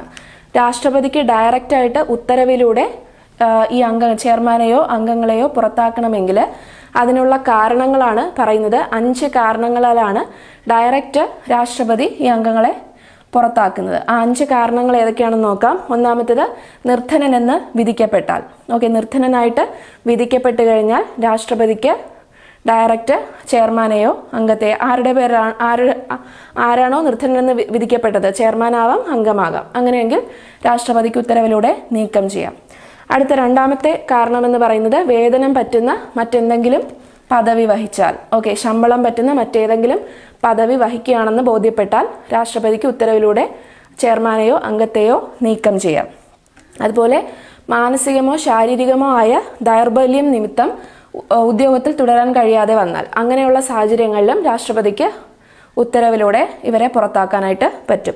നാലാമത്തെ കാരണം ചിത്തഭ്രമം ബാധിച്ചാൽ. ഓക്കെ ചിത്ര ചിത്തഭ്രമം ഉണ്ടായിക്കഴിഞ്ഞാലും എന്ത് ചെയ്യാൻ പറ്റും? രാഷ്ട്രപതിക്ക് ഉത്തരവിലൂടെ ഇവരെ പുറത്താക്കാൻ പറ്റും. അടുത്ത ലാസ്റ്റ് പറയുന്നത് രാഷ്ട്രപതിയുടെ അഭിപ്രായത്തിൽ സദാചാര ദൂഷ്യം ഉൾക്കൊള്ളുന്ന കുറ്റം ചെയ്തു കഴിഞ്ഞാൽ എന്താണ് ഡയറക്റ്റായിട്ട് രാഷ്ട്രപതിക്ക് ഈ അംഗത്തെ പ്രസ്തുത അംഗത്തെ നീക്കം ചെയ്യാവുന്നതാണ്. ചെയർമാനെയോ അംഗത്തെയോ. ഓക്കെ അപ്പോൾ അഞ്ച് കാരണങ്ങളാലാണ് രാഷ്ട്രപതി ഉത്തരവിലൂടെ ഈ ചെയർമാനെയോ അംഗത്തെയോ നീക്കം ചെയ്യുന്നത്. ഒന്ന് നിർധനനെന്ന് വിധിക്കപ്പെട്ടാൽ. രണ്ട് എന്താണ് വേതനം ലഭിക്കുന്ന മറ്റേതെങ്കിലും പദവി വഹിച്ചെന്ന് ബോധ്യപ്പെട്ടാൽ. അതുപോലെ മാനസികമോ ശാരീരികമോ ആയ ദൗർബല്യം നിമിത്തം ഉദ്യോഗത്തിൽ തുടരാൻ കഴിയാതെ വന്നാൽ അതുപോലെ എന്താണ്? ചിത്തഭ്രമം ബാധിച്ചാൽ പിന്നൊന്ന് രാഷ്ട്രപതിയുടെ അഭിപ്രായത്തിൽ സദാചാര ദൂഷ്യം ഉൾക്കൊള്ളുന്ന കുറ്റം ചെയ്തെന്ന് കണ്ടു കഴിഞ്ഞാൽ. ആ അഞ്ച് കാരണങ്ങളാൽ രാഷ്ട്രപതിക്ക് ഉത്തരവിലൂടെ ചെയർമാനെയോ അംഗത്തെയോ പദവിയിൽ നിന്നും നീക്കം ചെയ്യാം. ഇനി ഈ അഞ്ച് കാരണങ്ങളല്ല കാരണങ്ങളാലല്ലാതെ അതായത് തെളിയിക്കപ്പെട്ട പെരുമാറ്റ ദൂഷ്യത്തിനോ അല്ലെങ്കിൽ കഴിവില്ലായ്മയുടെയോ കാരണത്താലാണ് പുറത്താക്കേണ്ടി വരുന്നതെങ്കിൽ രാഷ്ട്രപതി സുപ്രീം കോടതിക്ക് ഇത് റെഫർ ചെയ്യുകയും സുപ്രീം കോടതി ഈ കേസിൽ അന്വേ അന്വേഷണ വിചാരണ നടത്തുകയും അതിന്മേൽ ഒരു റിപ്പോർട്ട് രാഷ്ട്രപതിക്ക് സമർപ്പിക്കുകയും ചെയ്യുന്നു. ആ റിപ്പോർട്ട് ഈ പ്രസ്തുത അംഗത്തിന് അഗേൻസ്റ്റ് ആണെങ്കിൽ രാഷ്ട്രപതി ഉത്തരവിലൂടെ നീക്കം ചെയ്യുന്നു. ഓക്കെ. അപ്പം നീക്കം ചെയ്യുന്നത് ആരെന്ന് ചോദിച്ചു കഴിഞ്ഞാൽ രാഷ്ട്രപതിയാണ്. അഞ്ച് കാരണങ്ങൾ ഡയറക്റ്റായിട്ട് ഉത്തരവിലൂടെ നീക്കം ചെയ്യും. ഇനി പെരുമാറ്റ ദൂഷ്യം ദൂഷ്യം അതുപോലെ കഴിവില്ലായ്മ എന്നിവയുടെ കാരണത്തിലാണ് കാരണത്തിൽ ആണെങ്കിൽ എങ്ങനെയാണ്? രാഷ്ട്ര സുപ്രീം കോടതിക്ക് റെഫർ ചെയ്യുകയും അവിടെ നിന്നുള്ള റിപ്പോർട്ട് അനുസരിച്ച് രാഷ്ട്രപതി നീക്കം ചെയ്യുകയും ചെയ്യുകയാണ് ചെയ്യുന്നത്. അടുത്തത് നോക്കാൻ പോകുന്നത് ഈ എൻ എച്ച് ആർ സി ചെയർമാന്റെയും അംഗങ്ങളുടെയും കാലാവധിയാണ്. സേവന കാലാവധിയാണ് പറയുന്നത്. മൂന്ന് വർഷം അല്ലെങ്കിൽ എഴുപത് വയസ്സ്. മൂന്ന് വർഷം അല്ലെങ്കിൽ എഴുപത് വയസ്സ്. ഇത് രണ്ടായിരത്തി പത്തൊമ്പതിലെ ഭേദഗതിക്ക് ശേഷം വന്ന മാറ്റമാണ്. അതിന് മുമ്പ് വരെ അഞ്ച് വർഷമായിരുന്നു. അഞ്ച് വർഷം അല്ലെങ്കിൽ എഴുപത് വയസ്സെന്നായിരുന്നു പറഞ്ഞിരുന്നത്. പത്തൊമ്പതിലെ ഭേദഗതിയിലൂടെയാണ് മൂന്ന് വർഷം അല്ലെങ്കിൽ എഴുപത് വയസ്സെന്നുള്ള കാര്യം കൊണ്ടുവന്നത്. ഓക്കെ അപ്പം ദേശീയ മനുഷ്യാവകാശ കമ്മീഷൻ ചെയർമാന്റെയും അംഗങ്ങളുടെയും കാലാവധി മൂന്ന് വർഷം അല്ലെങ്കിൽ എഴുപത് വയസ്സ്. അതുപോലെ തന്നെ ഇവർ പുനർനിയമനത്തിന് യോഗ്യരാണ്. പുനർനിയമനത്തിന് യോഗ്യരാണ്.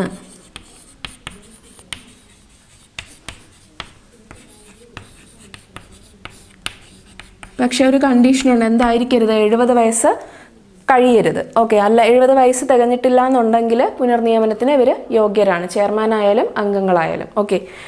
എന്നാൽ വിരമിച്ചതിന് ശേഷം ഇന്ത്യ ഗവൺമെന്റിന് കീഴിലോ മറ്റ് സംസ്ഥാന ഗവൺമെന്റുകൾക്ക് കീഴിലോ മറ്റൊരു പദവി അല്ലെങ്കിൽ മറ്റൊരു ഉദ്യോഗം വഹിക്കാൻ യോഗ്യരല്ല. ഓക്കെ ആ ഒരു കാര്യം കൂടെ ഒന്ന് ആലോചിച്ച് വെച്ചിരിക്കുക. എൻ എച്ച് ആർ സി ചെയർമാന്റെയും അംഗങ്ങളുടെയും സേവന കാലാവധി മൂന്ന് വർഷം അല്ലെങ്കിൽ എഴുപത് വയസ്സാണ്. പുനർനിയമനത്തിന് യോഗ്യരാണ്. എങ്ങനെയുള്ള കേസിൽ എഴുപത് വയസ്സ് തികഞ്ഞിട്ടില്ലെങ്കിൽ എഴുപത് വയസ്സ് കഴിഞ്ഞു കഴിഞ്ഞാൽ പുനർനിയമനത്തിന് യോഗ്യരാവില്ല. ഓക്കെ. പിന്നെ പറഞ്ഞത് ഇൻ കേസ് വിരമിച്ചു കഴിഞ്ഞാൽ മറ്റൊരു ഗവൺമെന്റ് ഗവൺമെന്റ് പദവിയും വഹിക്കാൻ യോഗ്യരല്ല എന്നുള്ളതും കൂടി ഓർമ്മിച്ചിരിക്കുക.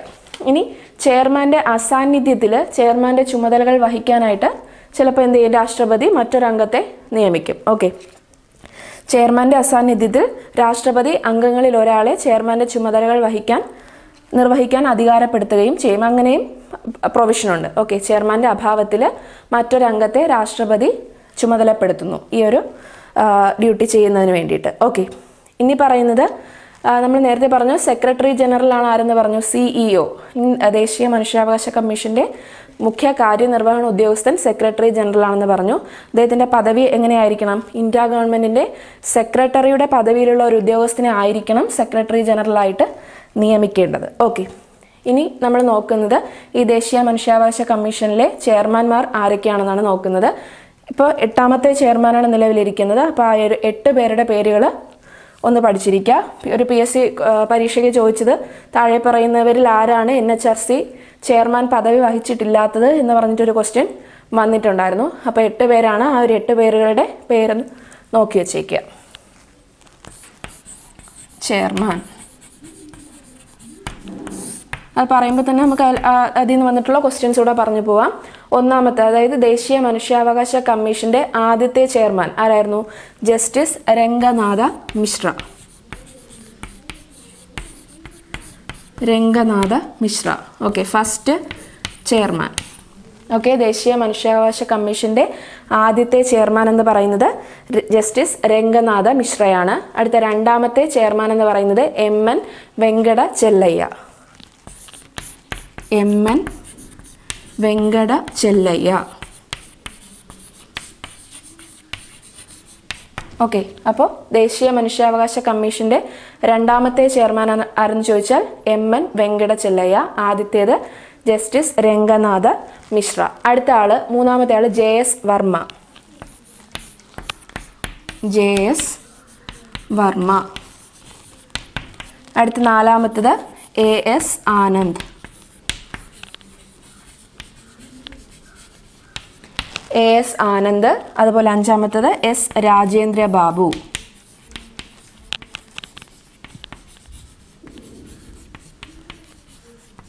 എസ് രാജേന്ദ്ര ബാബു. ആറാമത്തെ ആൾ കെ ജി ബാലകൃഷ്ണൻ.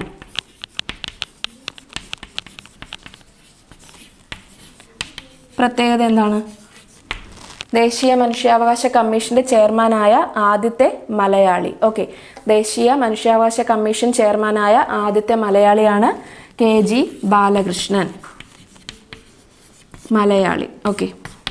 അപ്പോൾ ആദ്യത്തെ ചെയർമാൻ ജസ്റ്റിസ് രംഗനാഥ മിശ്ര രണ്ടാമത്തെ N H R C chairman ആരാണ്? M N Venkata Chelliah. ഇനി ദേശീയ മനുഷ്യാവകാശ കമ്മീഷൻ ചെയർമാനായ ആദ്യത്തെ മലയാളി ആരെന്ന് ചോദിച്ചാൽ ജസ്റ്റിസ് കെ ജി ബാലകൃഷ്ണൻ. അടുത്ത ആറാമത്തെ ആൾ എച്ച് എൽ ദത്തു. സോറി ആറല്ല ഏഴാമത്തെ ആൾ എച്ച് എൽ ദത്തു. അടുത്ത എട്ടാമത്തേതും ഇപ്പോൾ നിലവിലുള്ളതുമായിട്ടുള്ള ചെയർമാനാണ് ആര്? അരുൺകുമാർ മിശ്ര.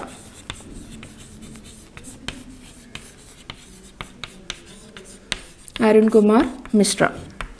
ഇവിടെയും ഓർക്കാനുള്ള ഒരു കാര്യം എന്ന് പറയുന്നത് ആദ്യത്തെ ഏഴ് പേരെന്ന് പറയുന്നത് സുപ്രീം കോടതിയുടെ ചീഫ് ജസ്റ്റിസ് പദവി വഹിച്ചിരുന്നവരാണ്. ഓക്കെ സുപ്രീം കോടതി ചീഫ് ജസ്റ്റിസ് പദവി വഹിച്ചിരുന്നവരാണ് ആദ്യത്തെ ഏഴ് പേര് എച്ച് എൽ ദത്ത് വരെയുള്ള ആൾക്കാർ ഇനി അരുൺകുമാർ മിശ്ര എന്ന് പറയുന്നത് സുപ്രീം കോടതിയിലെ ഒരു ജഡ്ജായിരുന്നു ചീഫ് ജസ്റ്റിസ് ആയിട്ടില്ല. ഓക്കെ ആ ഒരു കാര്യം കൂടെ ആലോചിച്ചിരിക്കുക.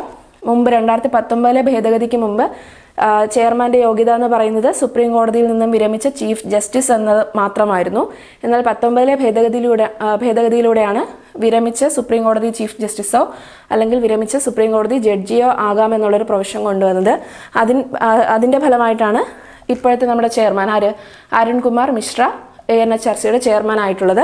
ഇദ്ദേഹം ചീഫ് ജസ്റ്റിസ് പദവി വഹിച്ചിട്ടില്ല എന്നുള്ളത് ഓർത്തിരിക്കുക. ഓക്കെ അപ്പോൾ ദേശീയ മനുഷ്യാവകാശ കമ്മീഷന്റെ ആദ്യത്തെ ചെയർമാൻ ജസ്റ്റിസ് രംഗനാഥ മിശ്ര രണ്ടാമത്തെ chairman M N Venkata Chelliah Malayali ആയിട്ടുള്ള ആദ്യത്തെ chairman justice K G Balakrishnan ഇപ്പോഴത്തെ എന്താണ് മനുഷ്യാവകാശ കമ്മീഷൻ ചെയർമാൻ അല്ലെങ്കിൽ എട്ടാമത്തെ മനുഷ്യാവകാശ കമ്മീഷൻ ചെയർമാൻ ആരാ ആരും ചോദിച്ചാൽ ആരാണ്?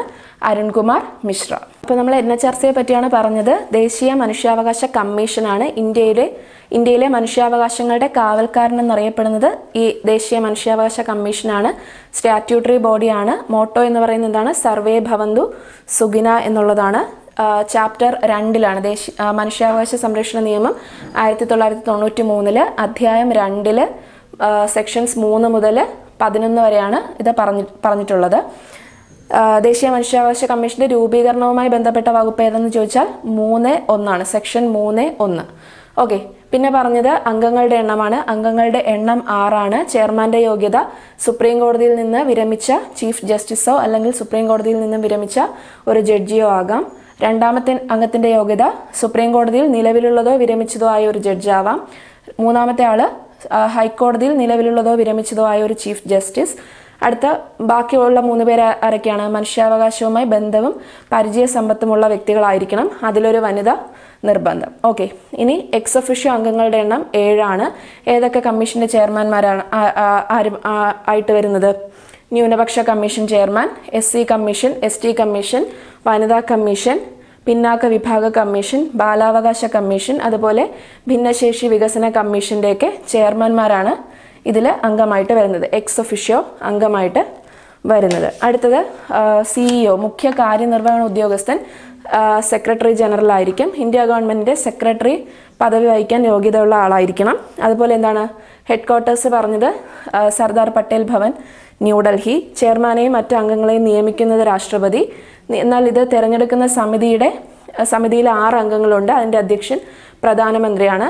ഒന്ന് പ്രധാനമന്ത്രി രണ്ട് കേന്ദ്ര ആഭ്യന്തര വകുപ്പ് മന്ത്രി മൂന്ന് ലോക്സഭയിൽ നിന്ന് സ്പീക്കർ ലോക്സഭാ പ്രതിപക്ഷ നേതാവ് രാജ്യസഭയിൽ നിന്ന് ഡെപ്യൂട്ടി ചെയർമാനും രാജ്യസഭാ പ്രതിപക്ഷ നേതാവും. ഈ ആറ് അംഗങ്ങളാണ് നമ്മുടെ എൻ എച്ച് ആർ സിയിലെ അംഗങ്ങളെയും ചെയർമാനെയും ഒക്കെ തിരഞ്ഞെടുക്കുന്ന സമിതി. പിന്നെ അത് പറയുമ്പോൾ ഒരു കാര്യം കൂടെ ആലോചിച്ചിരിക്കുക. നമ്മൾ അംഗങ്ങളുടെ കേസ് പറയുമ്പോൾ രണ്ടാമത്തെയും മൂന്നാമത്തെയും അംഗങ്ങളുടെ യോഗ്യത പറയുന്ന എങ്ങനെയായിരുന്നു? സുപ്രീം കോടതിയിൽ നിലവിലുള്ളതോ വിരമിച്ചതോ ആയ ഒരു ജഡ്ജി അതുപോലെ ഹൈക്കോടതിയിൽ നിലവിലുള്ളതോ വിരമിച്ചതോ ആയ ചീഫ് ജസ്റ്റിസ് എന്ന് പറഞ്ഞു. ഇനി ഈ ഒരു കേസിൽ നിലവിലുള്ള സുപ്രീം കോടതി ജഡ്ജിയെയോ അല്ലെങ്കിൽ നിലവിലുള്ള ഹൈക്കോടതി ചീഫ് ജസ്റ്റിസിനെയോ ആണ് തിരഞ്ഞെടുക്കേണ്ടി വരുന്നതെങ്കിൽ അത് സുപ്രീം കോടതിയുടെ ചീഫ് ജസ്റ്റിസുമായിട്ട് കൂടിയാലോചിച്ച ശേഷം ആയിരിക്കണം. ഓക്കെ. ആ ഒരു കാര്യം കൂടെ ഒന്ന് ആലോചിച്ച് വെച്ചിരിക്കുക. ഇനി പറയുന്നത് ഇത് നീക്കം ചെയ്യുന്നത് ആരെന്നാണ് അല്ലെങ്കിൽ രാജിക്കത്ത് കൊടുക്കേണ്ടത് പ്രസിഡന്റിനാണ്. നീക്കം ചെയ്യുന്നതും പ്രസിഡന്റ് തന്നെയാണ്. നീക്കം ചെയ്യാനായിട്ട് ഡയറക്റ്റ് ആയിട്ടുള്ള ഒരു അഞ്ച് കാരണങ്ങൾ പറഞ്ഞു. അതല്ല സുപ്രീം കോടതിയുമായിട്ട് റെഫർ ചെയ്യേണ്ട ഒരു സാഹചര്യം കൂടി പറഞ്ഞിട്ടുണ്ട്. അതും കൂടെ ഓർക്കുക. ഇനി അംഗങ്ങളുടെ കാലാവധിയാണ്. ചെയർ ചെയർമാന്റെയും അംഗങ്ങളുടെയും കാലാവധി മൂന്ന് വർഷം അല്ലെങ്കിൽ എഴുപത് വയസ്സാണ്. പുനർനിയമനത്തിന് യോഗ്യരാണ്. എഴുപത് വയസ്സ് കഴി കഴി എഴുപത് വയസ്സ് തികയുന്നത് വരെ. എന്നാൽ വിരമിച്ച ശേഷം മറ്റൊരു ഗവൺമെന്റ് പദവിയും ഏറ്റെടുക്കാൻ അർഹരല്ല. ചെയർമാന്റെ അസാന്നിധ്യത്തിൽ രാഷ്ട്രപതി ആ ഒരു ഏതെങ്കിലും ഒരു അംഗത്തെ ഈ ചുമതലകൾ വഹിക്കാനായിട്ട് അധികാരപ്പെടുത്തുന്നു. അതുപോലെ തന്നെ പറഞ്ഞത് ചെയർമാൻമാരുടെ ലിസ്റ്റാണ് പറഞ്ഞത്. ആദ്യത്തെ ആൾ രംഗനാഥ മിശ്ര രണ്ടാമത്തത് M N Venkata Chelliah മലയാളിയായിട്ടുള്ള N H R C chairman K G Balakrishnan ഇപ്പോഴത്തെ ആൾ അരുൺകുമാർ മിശ്ര.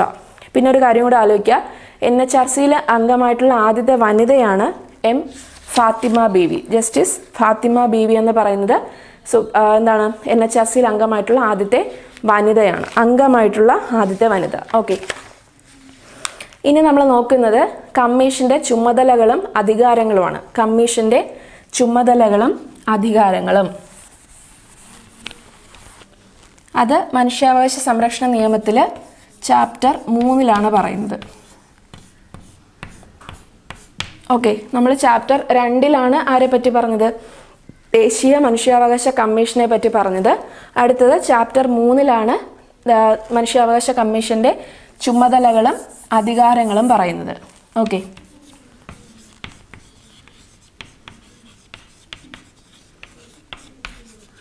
അതുപോലെ അധികാരങ്ങൾ.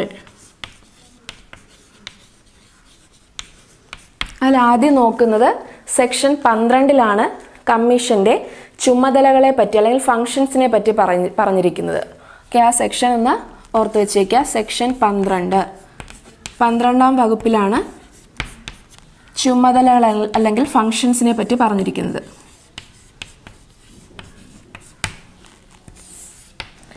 ഓക്കെ അപ്പോൾ ദേശീയ മനുഷ്യാവകാശ കമ്മീഷന്റെ ചുമതലകളെ പറ്റി പ്രതിപാദിക്കുന്ന വകുപ്പ് ഏതെന്ന് ചോദിച്ചാൽ സെക്ഷൻ പന്ത്രണ്ടാണ്. രൂപീകരണവുമായി ബന്ധപ്പെട്ട വകുപ്പ് മൂന്നിൽ ഒന്നാണ്. ചുമതലകൾ ചുമതലകൾ പറയുന്ന വകുപ്പ് ഏതാണ്? സെക്ഷൻ പന്ത്രണ്ടാണ്. ഓക്കെ.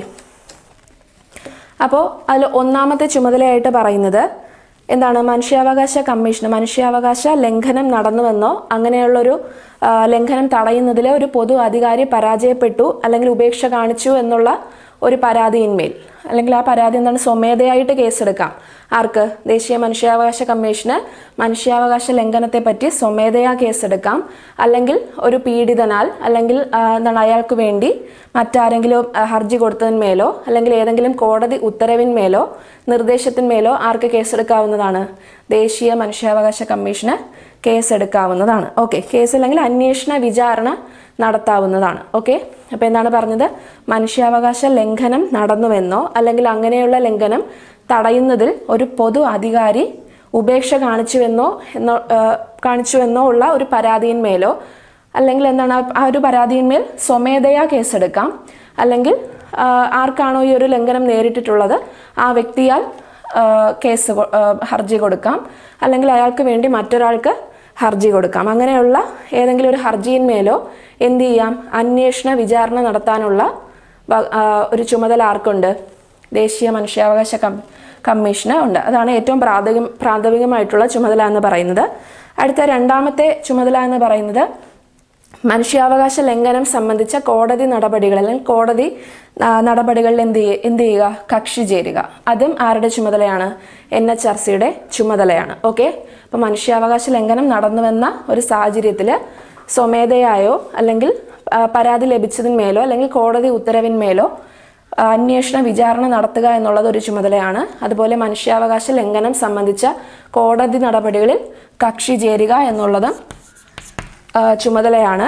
അതുപോലെ മൂന്നാമത് പറയുന്നത് ഈ ജയിലുകൾ സംരക്ഷണാലയങ്ങൾ ചികിത്സാലയങ്ങൾ പുനരധിവാസ കേന്ദ്രങ്ങൾ തുടങ്ങിയവയൊക്കെ സന്ദർശിച്ച് അവിടുത്തെ അന്തേവാസികളുടെ ജീവിത സാഹചര്യമൊക്കെ വിലയിരുത്തി വേണ്ടപ്പെട്ട പരിഷ്കരണ നടപടികൾ ആർക്ക് ശുപാർശ ചെയ്യുക? സർക്കാരിന് ശുപാർശ ചെയ്യുക എന്നുള്ളതും ആരുടെ ചുമതലയാണ്? നമ്മുടെ എൻ എച്ച് ആർ സിയുടെ ചുമതലയാണ്. അപ്പോൾ എന്തൊക്കെയാണ്? ജയിലുകൾ പുനരധിവാസ കേന്ദ്രങ്ങൾ ചികിത്സാലയങ്ങൾ തുടങ്ങിയവ സന്ദർശിച്ച് അവിടുത്തെ അന്തേവാസികളുടെ ജീവിത അവസ്ഥകൾ പഠിക്കുകയും വേണ്ട പരിഹാര നിർദ്ദേശങ്ങൾ സർക്കാരിന് ശുപാർശ ചെയ്യുകയും ചെയ്യുക. ഓക്കെ. അതുപോലെ നിലവിലുള്ള മനുഷ്യാവകാശ സംവിധാനങ്ങളുടെ പ്രവർത്തനം വിലയിരുത്തുകയും വേണ്ട മാർഗനിർദ്ദേശങ്ങൾ സർക്കാരിന് കൊടുക്കുകയും ചെയ്യുക. അതെങ്ങനെയൊക്കെ ഭരണഘടനാപരമായി നിലവിൽ വന്ന സ്ഥാപനങ്ങളാണെങ്കിലോ അല്ലാതെ മറ്റേതെങ്കിലും നിയമപ്രകാരം വന്നിട്ടുള്ള ഈ മനുഷ്യാവകാശ സംരക്ഷണത്തിന് വേണ്ടി വന്നിട്ടുള്ള ഏതെങ്കിലും സ്ഥാപനങ്ങളുടെ പ്രവർത്തനങ്ങൾ വിലയിരുത്തി അതിൽ എന്തെങ്കിലും പരിഷ്കരണ നടപടികളൊക്കെ വേണമെന്നുണ്ടെങ്കിൽ സർക്കാരിന് ശുപാർശ ചെയ്യുക. അതുപോലെ എന്താണ്? ഭീകരണ ഭീകര പ്രവർത്തനങ്ങൾ മനുഷ്യാവകാശ ധ്വംസന ധ്വംസനങ്ങൾ അതിക്രമങ്ങൾ ഒക്കെ നടക്കുകയാണെങ്കിൽ അതിനെയൊക്കെ നിരീക്ഷണങ്ങൾ നടത്തി വേണ്ട പരിഹാര നടപടികളും ശുപാർശ ചെയ്യുക. അതും ആരുടെ ചുമതലയാണ് എൻ എച്ച് ആർ സിയുടെ ചുമതലയാണ്. പിന്നെ പറയുന്നത് മനുഷ്യാവകാശവുമായി ബന്ധപ്പെട്ട അന്താരാഷ്ട്ര കരാറുകൾ അല്ലെങ്കിൽ ഉടമ്പടികളൊക്കെ നോക്കുകയും അതിൽ പ്രായോഗികമായവ നമ്മൾ എടുക്കുകയും ചെയ്യുക. വിശകലനം ചെയ്ത് പ്രായോഗിക നടപടികൾ കൈക്കൊള്ളുകയും ചെയ്യുക എന്നുള്ളത് ആരുടെ ഡ്യൂട്ടിയാണ്. ഈ എൻ എച്ച് ആർ സിയുടെ ചുമതലയാണ്. അതുപോലെ തന്നെ മനുഷ്യാവകാശം സംബന്ധിച്ച ഗവേഷണ പഠനങ്ങൾ പ്രോത്സാഹിപ്പിക്കുക. അതുപോലെ എന്താണ് മനുഷ്യാവകാശവുമായി ബന്ധപ്പെട്ട് ബന്ധപ്പെട്ട സാക്ഷരത മനുഷ്യാവകാശ സാക്ഷരത വളർത്തുക. അതുപോലെ മനുഷ്യാവകാശങ്ങളെ പറ്റി ജനങ്ങൾക്കിടയിൽ അവബോധം സൃഷ്ടിക്കുക തുടങ്ങിയവയൊക്കെ ഇവരുടെ ചുമതലയാണ്. പിന്നെ മനുഷ്യാവകാശവുമായി ബന്ധപ്പെട്ട് പ്രവർത്തിക്കുന്ന സർക്കാരിതര സ്ഥാപനങ്ങളുടെ പ്രോത്സാഹനം. അല്ലെങ്കിൽ അവർക്ക് അവരെടുക്കുന്ന നടപടികളെ പ്രോത്സാഹിപ്പിക്കുക എന്നുള്ളത് ആരുടെ ചുമതലയാണ്. ഈ എൻ എച്ച് ആർ സിയുടെ ചുമതലകളിൽ വരുന്ന കാര്യമാണ്. ഓക്കെ? ഇപ്പം ഏറ്റവും പ്രധാനപ്പെട്ടത് എന്താണ്? മനുഷ്യാവകാശ ലംഘനം സംബന്ധിച്ച പരാതിയിന്മേൽ സ്വമേധയായോ അല്ലെങ്കിൽ എന്താണ്? ഒരു ഹർജിയിന്മേലോ കോടതി ഉത്തരവിന്മേലോ ഒക്കെ അന്വേഷണ വിചാരണ നടത്തുക. ഓക്കെ? അതാണ് ഏറ്റവും ഇമ്പോർട്ടന്റ് പിന്നെന്താണ് മനുഷ്യാവകാശ ലംഘനം സംബന്ധിച്ച കോടതി. നടപടി നടപടികളിൽ എന്ത് ചെയ്യുക? കക്ഷി ചേരുക. പിന്നെ നമ്മുടെ ഈ ജയിലുകൾ അങ്ങനെയുള്ള സ്ഥലങ്ങൾ സന്ദർശിച്ച് അവിടെയുള്ള അന്തേവാസികളുടെ ജീവിതാവസ്ഥ പഠിക്കുകയും വേണ്ടപ്പെട്ട വേണ്ട പരിഹാര നടപടികൾ സർക്കാരിന് ശുപാർശ ചെയ്യുക. അങ്ങനെയുള്ള കുറേ കാര്യങ്ങളൊക്കെ ചെയ്യേണ്ടത് ആരുടെ കടമയാണ്. ഈ മനുഷ്യാവകാശ കമ്മീഷന്റെ ചുമതലയാണ്. ആ ചുമതലയെ പറ്റി പറഞ്ഞിരിക്കുന്ന സെക്ഷനാണ് സെക്ഷൻ പന്ത്രണ്ട് എന്ന് പറയുന്നത്. ഓക്കെ ബാക്കിയുള്ള ഇമ്പോർട്ടൻസ് കാര്യങ്ങളൊന്നും ഓർക്കുക. അന്താരാഷ്ട്ര കരാറുകൾ അന്തർദേശീയ കരാറുകൾ പ്രഖ്യാപനങ്ങൾ തുടങ്ങിയവയൊക്കെ അതിൽ പറഞ്ഞിരിക്കുന്ന കാര്യങ്ങൾ പ്രായോഗിക നടപടികൾ കൈക്കൊള്ളുക അതുപോലെ മനുഷ്യാവകാശ സാക്ഷരത അതുപോലെ ജനങ്ങൾക്കിടയിൽ അവബോധം സൃഷ്ടിക്കുക പിന്നെന്താണ്?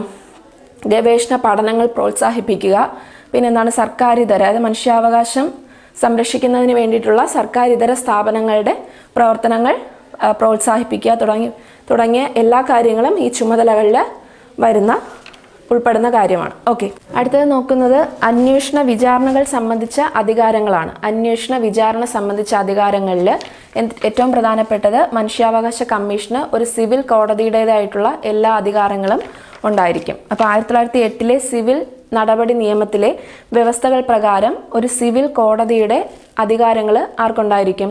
ഈ ദേശീയ മനുഷ്യാവകാശ കമ്മീഷന് ഉണ്ടായിരിക്കുന്നതാണ്. അതായത് എങ്ങനെയൊക്കെ എങ്ങനെയൊക്കെയുള്ള അധികാരങ്ങൾ? കക്ഷികളെയും സാക്ഷികളെയും നോട്ടീസ് അയച്ച് വിളിപ്പിക്കുക സത്യം ചെയ്യിച്ച് മൊഴിയെടുക്കുക അതുപോലെ രേഖകൾ ആവശ്യപ്പെടുകയും പരിശോധിക്കുകയും ചെയ്യുക നേരിട്ടോ പ്രതിനിധികൾ മുഖാന്തരവോ തെളിവെടുക്കുക. അതുപോലെ എന്താണ്? കോടതികളിൽ നിന്നോ ഓഫീസുകളിൽ നിന്നോ എന്തെങ്കിലുമൊക്കെ വിവരങ്ങൾ പൊതുരേഖകളൊക്കെ ആവശ്യപ്പെടുക. ഇതൊക്കെ എന്തിന്റെ കീഴിൽ വരുന്നതാണ്? ഒരു സിവിൽ കോടതിയുടെ അധികാരങ്ങളിൽ പെടുന്നതാണ്. അതൊക്കെ തന്നെ ആർക്കും ബാധകമാണ്. ഈ ദേശീയ മനുഷ്യാവകാശ കമ്മീഷനും ബാധകമായിട്ടുള്ള കാര്യമാണ്. ഓക്കെ അപ്പോൾ അന്വേഷണ വിചാരണ സംബന്ധിച്ച അധികാരങ്ങളിൽ പെടുന്ന ഒരു കാര്യമാണ് ഈ പറഞ്ഞത്. സിവിൽ കോടതിയുടേതായിട്ടുള്ള എല്ലാ അധികാരങ്ങളും ദേശീയ മനുഷ്യാവകാശ കമ്മീഷന് ഉണ്ടായിരിക്കുന്നതാണ്. ഇത് സെക്ഷൻ പതിമൂന്നിലാണ് ഇത് പറഞ്ഞിരിക്കുന്നത്. ഓക്കെ പതിമൂന്നാം വകുപ്പിലാണ് ഈ സിവിൽ കോടതിയുടേതായിട്ടുള്ള എല്ലാ അധികാരങ്ങളും ദേശീയ മനുഷ്യാവകാശ കമ്മീഷന് ഉണ്ട് എന്ന് പറഞ്ഞിരിക്കുന്നത്. ഓക്കെ ഇനി അന്വേഷണത്തെ പറ്റി പറയുകയാണെന്നുണ്ടെങ്കിൽ നമ്മുടെ അന്- അന്വേഷണം നടത്തുന്നതിനായിട്ട് കേന്ദ്ര സർക്കാരിന്റെയോ അല്ലെങ്കിൽ എന്താണ് സംസ്ഥാന സർക്കാരിന്റെയോ ഏതെങ്കിലും ഉദ്യോഗസ്ഥനോ അല്ലെങ്കിൽ അന്വേഷണ ഏജൻസിയുടെയോ സേവനമൊക്കെ നമ്മുടെ ഈ മനുഷ്യാവകാശ കമ്മീഷന് ഉപയോഗപ്പെടുത്താവുന്നതാണ്. ഇത്തരത്തിൽ മറ്റേതെങ്കിലും ഒരു ഉദ്യോഗസ്ഥനോ അല്ലെങ്കിൽ അന്വേഷണ ഏജൻസിയോ ആണ് ഈ അന്വേഷണ വിചാരണ നടത്തുന്നതെങ്കിൽ കമ്മീഷൻ തീരുമാനിക്കുന്ന കാലാവധിക്കുള്ളിൽ ഇവർ റിപ്പോർട്ട് ആർക്ക് നൽകണം? കമ്മീഷന് നൽകണം. ആ റിപ്പോർട്ട് കമ്മീഷൻ സ്വയം ബോധ്യപ്പെടുകയും അതിലെന്തെങ്കിലും ആവശ്യമെന്ന് തോന്നിയാൽ പുനരന്വേഷണം നടത്തുകയൊക്കെ ചെയ്യാനുള്ള പ്രൊവിഷൻ ഉണ്ട്. ഓക്കെ അപ്പോൾ അന്വേഷണം നടത്തുന്നതിന് വേണ്ടിയിട്ട് കേന്ദ്ര ഗവൺമെന്റിന്റെയോ സംസ്ഥാന ഗവൺമെന്റിന്റെയോ ഏതെങ്കിലും ഉദ്യോഗസ്ഥന്റെയോ അന്വേഷണ ഏജൻസിയുടെയോ സഹായം ആർക്ക് തേടാവുന്നതാണ്?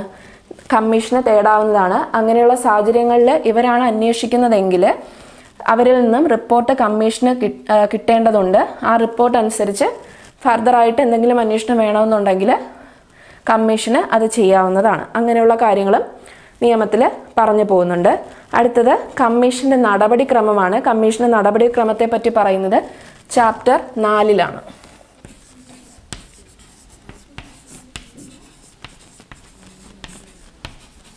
കമ്മീഷന്റെ നടപടിക്രമം.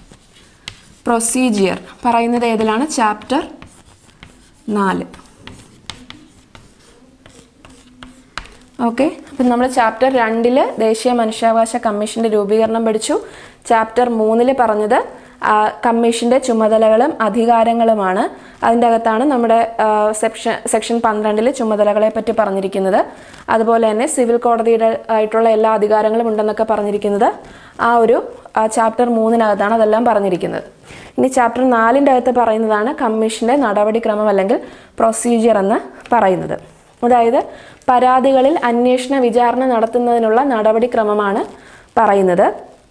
മനുഷ്യാവകാശ ലംഘനങ്ങളുടെ പരാതികളിൽ അന്വേഷണ വിചാരണ നടത്തുമ്പോൾ കമ്മീഷന് കേന്ദ്ര സർക്കാരിൽ നിന്നോ സംസ്ഥാന സർക്കാരിൽ നിന്നോ മറ്റേതെങ്കിലും അധികാര സ്ഥാനങ്ങളിൽ നിന്നോ ഒക്കെ നിശ്ചിത സമയത്തിനുള്ളിൽ വിവരമോ റിപ്പോർട്ടോ ആവശ്യപ്പെടാം.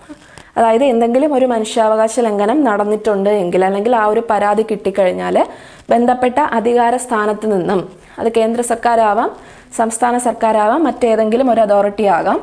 അതിൽ നിന്നൊക്കെ വിവരങ്ങളോ റിപ്പോർട്ടോ ആർക്ക് ആവശ്യപ്പെടാം? ദേശീയ മനുഷ്യാവകാശ കമ്മീഷൻ ആവശ്യപ്പെടാം.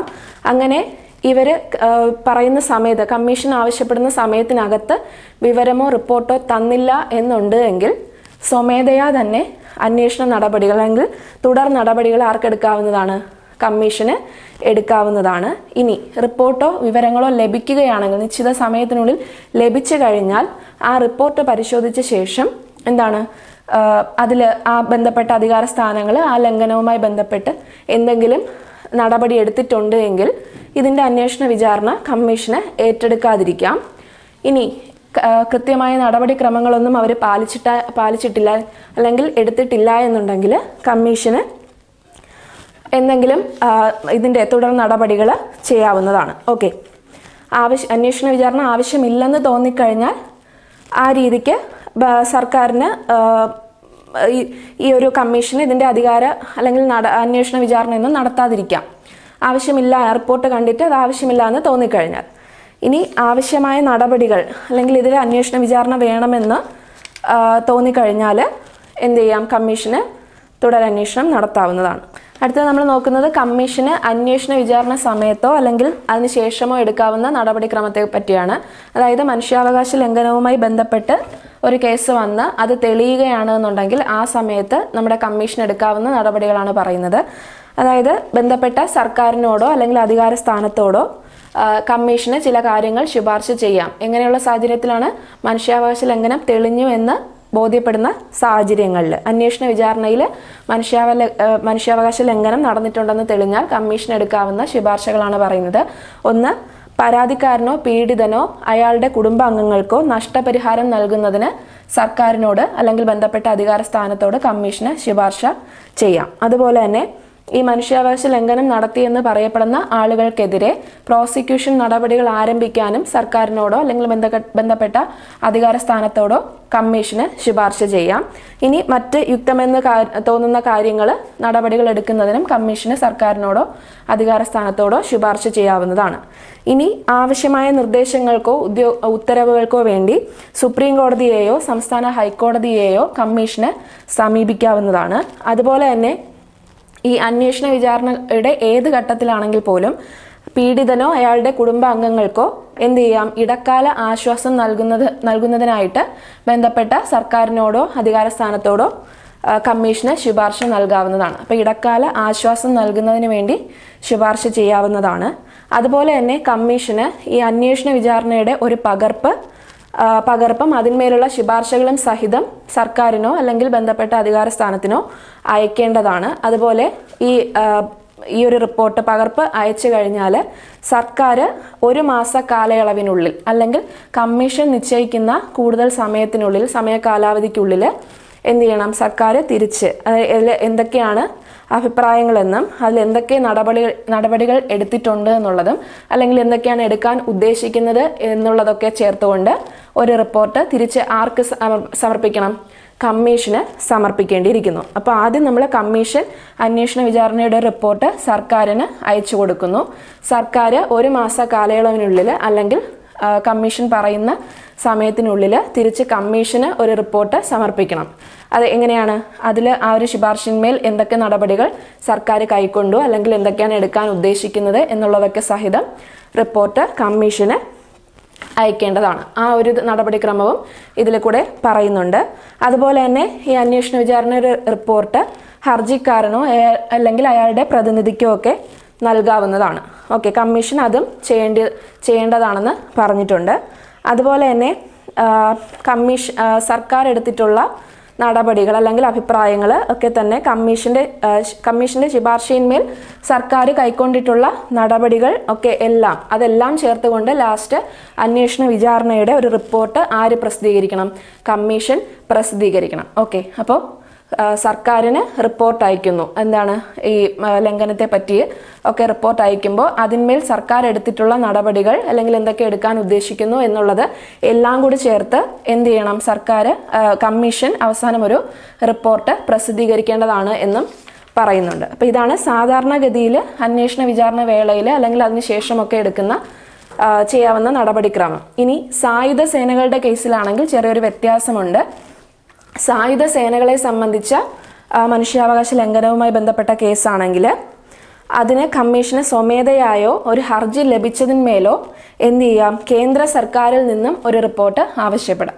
നമ്മൾ മറ്റിടത്ത് പറഞ്ഞ എങ്ങനെയാണ്? കേന്ദ്ര സർക്കാരിൽ നിന്നോ സംസ്ഥാന സർക്കാരിൽ നിന്നോ ബന്ധപ്പെട്ട അധികാര സ്ഥാനത്തിൽ നിന്നോ ഒക്കെ റിപ്പോർട്ട് അല്ലെങ്കിൽ വിവരങ്ങൾ ആവശ്യപ്പെടാമെന്നുള്ളതാണ് പറഞ്ഞത്.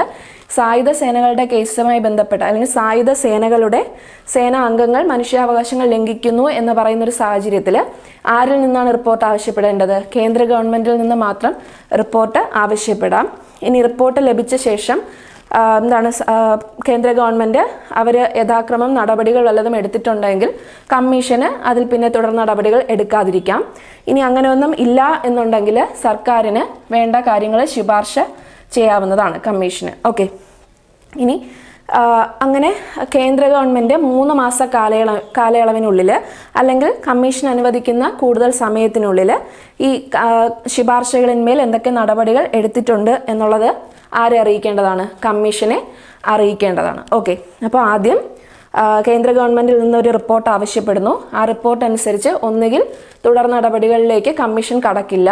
അല്ലാന്നുണ്ടെങ്കിൽ ബന്ധപ്പെട്ട ശുപാർശകൾ ആർക്ക് കൊടുക്കും? കേന്ദ്ര ഗവൺമെന്റിന് കൊടുക്കും. ആ ശുപാർശകളിന്മേൽ കേന്ദ്ര ഗവൺമെന്റ് എടുത്ത- നടപടികളെ പറ്റി മൂന്ന് മാസ കാലയളവിനുള്ളിൽ അല്ലെങ്കിൽ കമ്മീഷൻ അനുവദിക്കുന്ന കൂടുതൽ സമയത്തിനുള്ളിൽ കമ്മീഷന് റിപ്പോർട്ട് അയക്കേണ്ടതാണ്. ആ നടപടി എന്താണ് എടുത്ത് എടുത്തത് എന്നുള്ളതിനെ പറ്റി റിപ്പോർട്ട് സമർപ്പിക്കേണ്ടതാണ്. ഓക്കെ. അങ്ങനെ ഇവിടെ ഈ ഒരു കേസിൽ കേന്ദ്ര ഗവൺമെന്റിന് കൊടുത്ത റിപ്പോർട്ടും അവിടെ നിന്ന് നമ്മുടെ കമ്മീഷന് ലഭിച്ച റിപ്പോർട്ടും സഹിതം എല്ലാം കൂടെ ഉൾപ്പെടുത്തിക്കൊണ്ട് ഒരു റിപ്പോർട്ട് ആര് പ്രസിദ്ധീകരിക്കണം? കമ്മീഷൻ പ്രസിദ്ധീകരിക്കേണ്ടതാണ്. ഇതാണ് സായുധ സേനകളെ സംബന്ധിച്ച് ആ ഒരു നടപടിക്രമത്തിൽ പറയുന്നത്. ഓക്കെ. ഇനി പറയുന്നത് വാർഷിക റിപ്പോർട്ട് അല്ലെങ്കിൽ സ്പെഷ്യൽ റിപ്പോർട്ടൊക്കെ സമർപ്പിക്കേണ്ടത് കേന്ദ്ര ഗവൺമെന്റിനാണ്. അപ്പോൾ ദേശീയ മനുഷ്യാവകാശ കമ്മീഷൻ അതിന്റെ വാർഷിക റിപ്പോർട്ട് കൊടുക്കേണ്ടത് ആർക്കാണ്? കേന്ദ്ര സർക്കാരിനാണ്. ഓക്കെ. അപ്പോൾ ഇത്രയാണ് ആ ഒരു നടപടിക്രമം അല്ലെങ്കിൽ പ്രൊസീജിയർ എന്ന് പറയുന്ന ചാപ്റ്റർ നാലിൽ പറയുന്ന കുറച്ച് കാര്യങ്ങൾ എന്താണ്? അന്വേഷണ വിചാരണയുടെ നടപടിക്രമം. അതുപോലെ തന്നെ എന്താണ്? അന്വേഷണ വിചാരണ വേളയിലോ അല്ലെങ്കിൽ അതിന് ശേഷമോ എടുക്കുന്ന നടപടിക്രമം. അതുപോലെ സായുധ സേനകൾ സേനകളുമായി ബന്ധപ്പെട്ട നടപടിക്രമം. ഇത്രയും കാര്യങ്ങളാണ് ആ ചാപ്റ്റർ നാലിൽ പറയുന്നത്. അടുത്തത് നമ്മൾ നോക്കാൻ പോകുന്നത് സംസ്ഥാന മനുഷ്യാവകാശ കമ്മീഷനുകളാണ്. അപ്പോൾ അടുത്തത് നോക്കാൻ പോകുന്നത് സംസ്ഥാന മനുഷ്യാവകാശ കമ്മീഷനുകളാണ്. സംസ്ഥാന മനുഷ്യാവകാശ കമ്മീഷനുകൾ. State human rights commission okay അപ്പോൾ ഈ സംസ്ഥാന മനുഷ്യാവകാശ കമ്മീഷനെ പറ്റിയിട്ട് പറഞ്ഞിരിക്കുന്നത് ഏത് ചാപ്റ്ററിലാണെന്ന് ചോദിച്ചാൽ ചാപ്റ്റർ അഞ്ചിലാണ്. അപ്പോൾ അധ്യായം അഞ്ചിലാണ് സ്റ്റേറ്റ് ഹ്യൂമൻ റൈറ്റ്സ് കമ്മീഷനെ പറ്റി പറഞ്ഞിരിക്കുന്നത്. സെക്ഷൻ ഇരുപത്തി ഒന്ന് മുതൽ ഇരുപത്തി ഒൻപത് വരെ. ഇരുപത്തി ഒന്ന് മുതൽ ഇരുപത്തി ഒൻപത് വരെയാണ് സംസ്ഥാന മനുഷ്യാവകാശ കമ്മീഷനുകളെ പറ്റി പറഞ്ഞിരിക്കുന്നത്. അപ്പോൾ സംസ്ഥാന മനുഷ്യാവകാശ കമ്മീഷന്റെ രൂപീകരണവുമായി ബന്ധപ്പെട്ട വകുപ്പ് ഏതെന്ന് ചോദിച്ചാൽ സെക്ഷൻ ഇരുപത്തി ഒന്നിൽ ഒന്ന്. ഓക്കെ ഇരുപത്തി ഒന്നിൽ ഒന്നാണ് മനുഷ്യ സംസ്ഥാന മനുഷ്യാവകാശ കമ്മീഷനുമായി ബന്ധപ്പെട്ട വകുപ്പ്. അങ്ങനെയാണെങ്കിൽ ദേശീയ മനുഷ്യാവകാശ കമ്മീഷനുമായി ബന്ധപ്പെട്ടത് ഏതാണ്? മൂന്നിലൊന്ന്. അതുപോലെ സംസ്ഥാന മനുഷ്യാവകാശ കമ്മീഷനാണെങ്കിൽ ഇരുപത്തൊന്നിൽ ഒന്ന്. ഓക്കെ അടുത്തത് അംഗങ്ങളാണ് നോക്കുന്നത്. സംസ്ഥാന മനുഷ്യാവകാശ കമ്മീഷനിലെ അംഗങ്ങളുടെ എണ്ണം മൂന്ന്. ഓക്കെ ദേശീയ ദേശീയ തലത്തിലാണെങ്കിലോ ആറ്. ദേശീയ മനുഷ്യാവകാശ കമ്മീഷനിൽ ആറ്. അതിന്റെ നേർപകുതിയാണ് ഇവിടെ സംസ്ഥാന മനുഷ്യാവകാശ കമ്മീഷനിൽ മൂന്ന് അംഗങ്ങളാണ്. യോഗ്യത നോക്കാം. ഒന്നാമത്തേത് നമ്മൾ അവിടെ പറഞ്ഞ ദേശീയ മനുഷ്യാവകാശ കമ്മീഷനിൽ പറഞ്ഞത് സുപ്രീം കോടതിയിൽ നിന്ന് വിരമിച്ച ചീഫ് ജസ്റ്റിസോ അല്ലെങ്കിൽ ഒരു ജഡ്ജിയോ? ഇവിടെയും അതുപോലെ തന്നെയാണ് ഹൈക്കോടതിയിൽ നിന്നും വിരമിച്ച ഹൈക്കോടതിയിൽ നിന്നും വിരമിച്ച ചീഫ് ജസ്റ്റിസ് അല്ലെങ്കിൽ ഒരു ജഡ്ജി. ഓക്കെ സുപ്രീം കോടതി സോറി ഹൈക്കോടതിയിൽ നിന്നും വിരമിച്ച ചീഫ് ജസ്റ്റിസോ അല്ലെങ്കിൽ ഒരു ജഡ്ജിയോ ആകാം ആര്? സംസ്ഥാന മനുഷ്യാവകാശ കമ്മീഷന്റെ ചെയർമാൻ എന്ന് പറയുന്നത്. അടുത്ത രണ്ടാമത്തെ ആളുടെ യോഗ്യത എന്ന് പറയുന്നത് ഹൈക്കോടതിയിൽ നിലവിലുള്ളതോ വിരമിച്ചതോ ആയ ഒരു ജഡ്ജി. ഹൈക്കോടതിയിൽ നിലവിലുള്ളതോ വിരമിച്ചതോ ആയ ഒരു ജഡ്ജി. അല്ലെങ്കിൽ ആ സംസ്ഥാനത്ത് കുറഞ്ഞത് ഏഴ് വർഷം ജില്ലാ ജഡ്ജിയായിട്ട് പ്രവർത്തിച്ചേരുന്ന ഒരാൾ ഓക്കെ ജില്ലാ ജഡ്ജി. എത്ര വർഷത്തെ പ്രാക്ടീസ് ഉണ്ടായിരിക്കണം? കുറഞ്ഞത് ഏഴ് വർഷം. ഓക്കെ അപ്പോൾ രണ്ടാമത്തെ ആളുടെ യോഗ്യത എന്ന് പറയുന്നത് എന്താണ്? ഹൈക്കോടതിയിൽ നിലവിലുള്ളതോ വിരമിച്ചതോ ആയ ഒരു ജഡ്ജി അല്ലെങ്കിൽ ആരാകാം? ആ സംസ്ഥാനത്ത് ജില്ലാ ജഡ്ജിയായി ഏഴ് വർഷം പ്രവൃത്തി പരിചയമുള്ള ഒരാൾ ഇനി മൂന്നാമത്തെ ആളെന്ന് പറയുമ്പോൾ മനുഷ്യാവകാശവുമായി ബന്ധവും പരിചയ സമ്പത്തും സമ്പത്തുമുള്ള ഒരു വ്യക്തി. അത് നമ്മൾ മനുഷ്യാവകാശ കമ്മീഷനിൽ പറഞ്ഞ ആ മൂന്ന് പേരുടെ യോഗ്യത. അതിൽ ഒരാൾ മാത്രമേ എവിടെയുള്ളൂ? സംസ്ഥാനത്ത് ഉള്ളൂ. ഓക്കെ അപ്പോൾ സംസ്ഥാന മനുഷ്യാവകാശ കമ്മീഷനിലെ അംഗസംഖ്യ മൂന്നാണ്. ആദ്യത്തെ ആൾ ചെയർമാൻ എന്ന് പറയുമ്പോൾ യോഗ്യത ഹൈക്കോടതിയിൽ നിന്നും വിരമിച്ച ചീഫ് ജസ്റ്റിസോ അല്ലെങ്കിൽ ഹൈക്കോടതിയിൽ നിന്നും വിരമിച്ച ഒരു ജഡ്ജിയോ ആകാം. രണ്ടാമത്തെ ആളിന്റെ യോഗ്യത പറയുന്നത് ഹൈക്കോടതിയിൽ നിലവിലുള്ളതോ വിരമിച്ചതോ ആയ ഒരു ജഡ്ജി അല്ലെങ്കിൽ ആ സംസ്ഥാനത്ത് കുറഞ്ഞത് ഏഴ് വർഷം എക്സ്പീരിയൻസ് ഉള്ള ഒരു ജില്ലാ ജഡ്ജി. അടുത്ത മൂന്നാമത്തെ ആൾ മനുഷ്യാവകാശവുമായി ബന്ധവും പരിചയസമ്പത്തുമുള്ള ഒരു വ്യക്തി. ഓക്കെ അടുത്തത് സംസ്ഥാന ഹ്യൂമ മനുഷ്യാവകാശ കമ്മീഷന്റെ സിഇഒ അല്ലെങ്കിൽ എന്താണ് മുഖ്യ കാര്യനിർവഹണ ഉദ്യോഗസ്ഥൻ. CEO of S H R C ആരാണ്? സെക്രട്ടറി ഓക്കെ ദേശീയ മനുഷ്യാവകാശ കമ്മീഷന്റെ കേസിൽ മുഖ്യ കാര്യനിർവഹണ ഉദ്യോഗസ്ഥൻ സെക്രട്ടറി ജനറൽ ആണെന്ന് പറഞ്ഞു. അതുപോലെ സംസ്ഥാന മനുഷ്യാവകാശ കമ്മീഷന്റെ മുഖ്യ കാര്യനിർവഹണ ഉദ്യോഗസ്ഥൻ എന്ന് പറയുന്നത് സെക്രട്ടറി ആയിരിക്കും സെക്രട്ടറി. ഓക്കെ. അടുത്ത് നോക്കുന്നത് ഇനി സംസ്ഥാന മനുഷ്യാവകാശ കമ്മീഷനുമായി ബന്ധപ്പെട്ട കുറച്ച് കാര്യങ്ങളാണ് പറയുന്നത്. ഭരണഘടനയുടെ ഏഴാം പട്ടികയിലെ ലിസ്റ്റ് രണ്ടും ലിസ്റ്റ് മൂന്നും അതായത് ഏതൊക്കെ ലിസ്റ്റാണ്? സ്റ്റേറ്റ് ലിസ്റ്റും കൺകറന്റ് ലിസ്റ്റും എന്നിവയിലുള്ള വിഷയങ്ങളിൽ മാത്രമേ വിഷയങ്ങളുമായി ബന്ധപ്പെട്ട മനുഷ്യാവകാശ ലംഘനങ്ങളിൽ മാത്രമേ ആരിടപെടാവൂ. സംസ്ഥാന മനുഷ്യാവകാശ കമ്മീഷൻ ഇടപെടാവൂ. അപ്പം എന്താണ് പറഞ്ഞത്? ഭരണഘടനയുടെ ഏഴാം പട്ടികയിൽ പറഞ്ഞിരിക്കുന്ന സ്റ്റേറ്റ് ലിസ്റ്റ് കൺകറന്റ് ലിസ്റ്റ് അതായത് ലിസ്റ്റ് രണ്ടും ലിസ്റ്റ് മൂന്നും എന്നിവയുമായി ബന്ധപ്പെട്ട അതിൽ പറഞ്ഞിരിക്കുന്ന വിഷയങ്ങളുമായി ബന്ധപ്പെട്ട മനുഷ്യാവകാശ ലംഘനങ്ങളിൽ മാത്രമേ ആർക്ക് അധികാരം നടത്താൻ അല്ലെങ്കിൽ അന്വേഷണം നടത്താനുള്ള അധികാരമുള്ളൂ? സംസ്ഥാന മനുഷ്യാവകാശ കമ്മീഷന് അന്വേഷണം നടത്താനുള്ള അധികാരം ഉള്ളൂ. ആ ഒരു കാര്യം കൂടെ ഓർമ്മിച്ചിരിക്കുക. ഇനി സംസ്ഥാന മനുഷ്യാവകാശ കമ്മീഷൻ ചെയർമാനെയും അംഗങ്ങളെയും നിയമിക്കുന്നത് ആരാണ്? നിയമിക്കുന്നത് ഗവർണറാണ് ഗവർണർ. ഓക്കെ. നമ്മൾ ദേശീയ മനുഷ്യാവകാശ കമ്മീഷൻ പറഞ്ഞപ്പോൾ ചെയർമാനെയും അംഗങ്ങളെയും നിയമിക്കുന്നത് രാഷ്ട്രപതിയാണെന്ന് പറഞ്ഞു. അടുത്ത സ്റ്റേ സ്റ്റേറ്റിലോട്ട് വരുമ്പോൾ ആരാണ്? ഗവർണറാണ് നിയമിക്കുന്നത്. ഇനി ഈ നിയമിക്കുന്നത് ഗവർണറാണെങ്കിലും ഇത് തിരഞ്ഞെടുക്കുന്നതിന് നമ്മൾ അവിടെ പറഞ്ഞ പോലെ തന്നെ ഒരു സമിതി ഇവിടെയുണ്ട്. തിരഞ്ഞെടുക്കുന്ന സമിതിയിൽ നാല് പേരാണുള്ളത്. അംഗങ്ങളെയും ചെയർമാനെയും തിരഞ്ഞെടുക്കുന്ന സമിതി സമിതിയിൽ നാല് പേരാണുള്ളത്. ഈ നാല് പേരെന്ന് പറയുമ്പോൾ ഈ നിയമസഭകൾ മാത്രമുള്ള സംസ്ഥാനങ്ങളിലാണ് ഈ നാല് പേര് വരുന്നത്. ഇനി നിയമസമിതികൾ അല്ലെങ്കിൽ ലെജിസ്ലേറ്റീവ് കൗൺസിൽ കൂടി വരുന്ന സംസ്ഥാനങ്ങളിലാണെങ്കിൽ ആറ് പേര് ഉണ്ടായിരിക്കും. ഈ നിയമസഭകൾ മാത്രമുള്ള സംസ്ഥാനങ്ങളുടെ കേസിലാണെന്നുണ്ടെങ്കിൽ മുഖ്യമന്ത്രി അധ്യക്ഷൻ. മുഖ്യമന്ത്രി അധ്യക്ഷൻ. രണ്ടാമത്തത് നമ്മൾ അവിടെ പറഞ്ഞത് കേന്ദ്ര ആഭ്യന്തര വകുപ്പ് മന്ത്രി എന്നാണ്. അപ്പോൾ ഇങ്ങോട്ട് വരുമ്പോൾ ആരായിരിക്കും? സംസ്ഥാന ആഭ്യന്തര വകുപ്പ് മന്ത്രി. ആഭ്യന്തര വകുപ്പ് മന്ത്രി. പിന്നെ അവിടെ പറഞ്ഞത് ലോക്സഭയിൽ നിന്നും രാജ്യസഭയിൽ നിന്നും രണ്ടുപേര് രണ്ട് പേര് വീതം ആണ് പറഞ്ഞത്. ഇവിടെ എന്താണ് സംസ്ഥാനങ്ങളിൽ നിയമസഭകൾ മാത്രം ഉള്ളിടത്താണെന്നുണ്ടെങ്കിൽ നിയമസഭാ സ്പീക്കർ അതുപോലെ നിയമസഭയുടെ പ്രതിപക്ഷ നേതാവ്.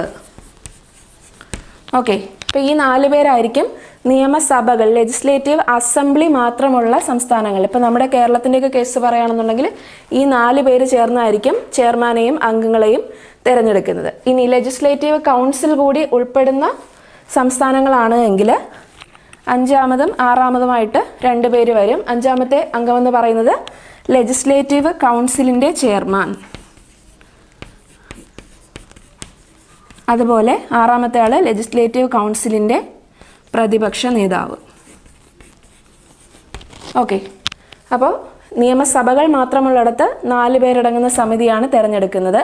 നിയമസമിതിയുടെ ഉൾപ്പെടുന്ന സംസ്ഥാനങ്ങളിലാണെങ്കിൽ ആറ് പേരടങ്ങുന്ന സമിതിയായിരിക്കും ചെയർമാനെയും അംഗങ്ങളെയും തിരഞ്ഞെടുക്കുന്നത്. ഓക്കെ അതുപോലെ നിലവിലുള്ള ഹൈക്കോടതി ജഡ്ജി എന്ന് പറയുന്ന ഒരു അംഗം എന്താണ് അംഗത്തിൽ വരാൻ സാധ്യതയുണ്ട്. അപ്പം നിലവിലുള്ള ആൾക്കാരെയൊക്കെ ആണ് എടുക്കുന്നതെങ്കിൽ ആ ഹൈക്കോടതി ചീഫ് ജസ്റ്റിസുമായിട്ട് കൂടി ആലോചിച്ച് വേണം തിരഞ്ഞെടുക്കുന്നതിന്. നിയമിക്ക നിയമിക്കേണ്ടത്. ഓക്കെ. അടുത്തത് സംസ്ഥാന മനുഷ്യാവകാശ കമ്മീഷൻ ചെയർമാനും അംഗങ്ങളും രാജിക്കത്ത് കൊടുക്കേണ്ടത് ആർക്കാണ്? ഗവർണർക്കാണ്. നിയമിക്കുന്ന ആരാണോ അവർക്കാണ് രാജിക്കത്ത് കൊടുക്കേണ്ടത്.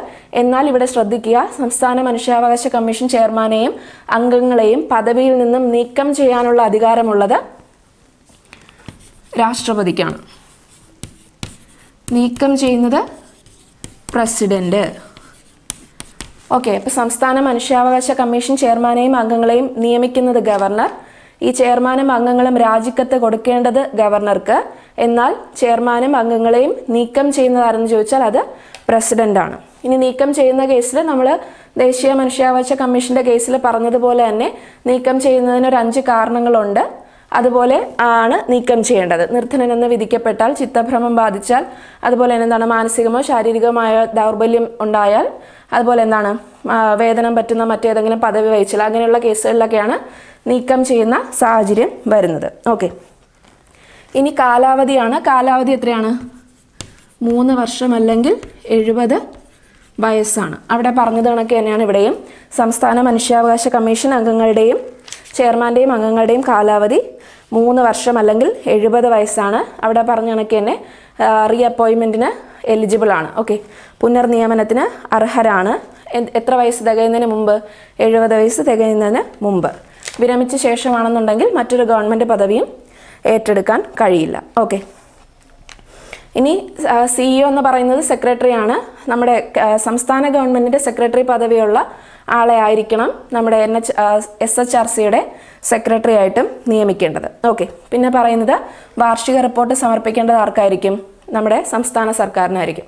എൻ എച്ച് ആർ സിയുടെ കേസിൽ വാർഷിക റിപ്പോർട്ട് കൊടുക്കേണ്ടത് കേന്ദ്ര ഗവൺമെന്റിനും എസ് എച്ച് ആർ സിയുടെ കേസിൽ വാർഷിക റിപ്പോർട്ട് കൊടുക്കേണ്ടത് നമ്മുടെ സംസ്ഥാന സർക്കാരിനും സർക്കാരിനുമായിരിക്കണം ഓക്കെ ഇനി കേരള സംസ്ഥാന മനുഷ്യാവകാശ കമ്മീഷനുമായി ബന്ധപ്പെട്ട് പറയുകയാണെങ്കിൽ അത് നിലവിൽ വന്ന വർഷം ആയിരത്തി തൊള്ളായിരത്തി തൊണ്ണൂറ്റി എട്ട് ഡിസംബർ പതിനൊന്ന്.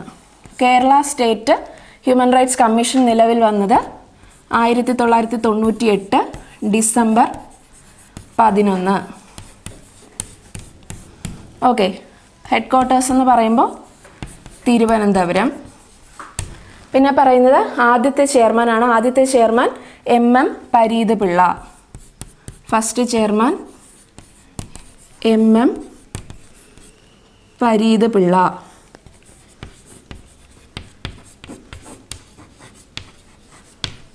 ഇനി ഇപ്പോഴത്തെ ചെയർമാൻ ആരാണ്?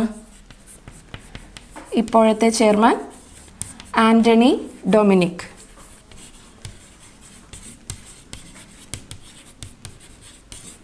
ഓക്കെ. അപ്പോൾ കേരള സംസ്ഥാന മനുഷ്യാവകാശ കമ്മീഷൻ നിലവിൽ വന്നത് ആയിരത്തി തൊള്ളായിരത്തി തൊണ്ണൂറ്റി എട്ട് ഡിസംബർ പതിനൊന്ന് ആസ്ഥാനം തിരുവനന്തപുരം. ആദ്യത്തെ ചെയർമാൻ എം എം പരീതപിള്ള ഇപ്പോഴത്തെ chairman justice Antony Dominic. Okay. അടുത്ത് നമ്മൾ നോക്കാൻ പോകുന്നത് മനുഷ്യാവകാശ കോടതികളെ പറ്റിയാണ്. ഹ്യൂമൻ റൈറ്റ്സ് കോർട്സ് മനുഷ്യാവകാശ കോടതികൾ.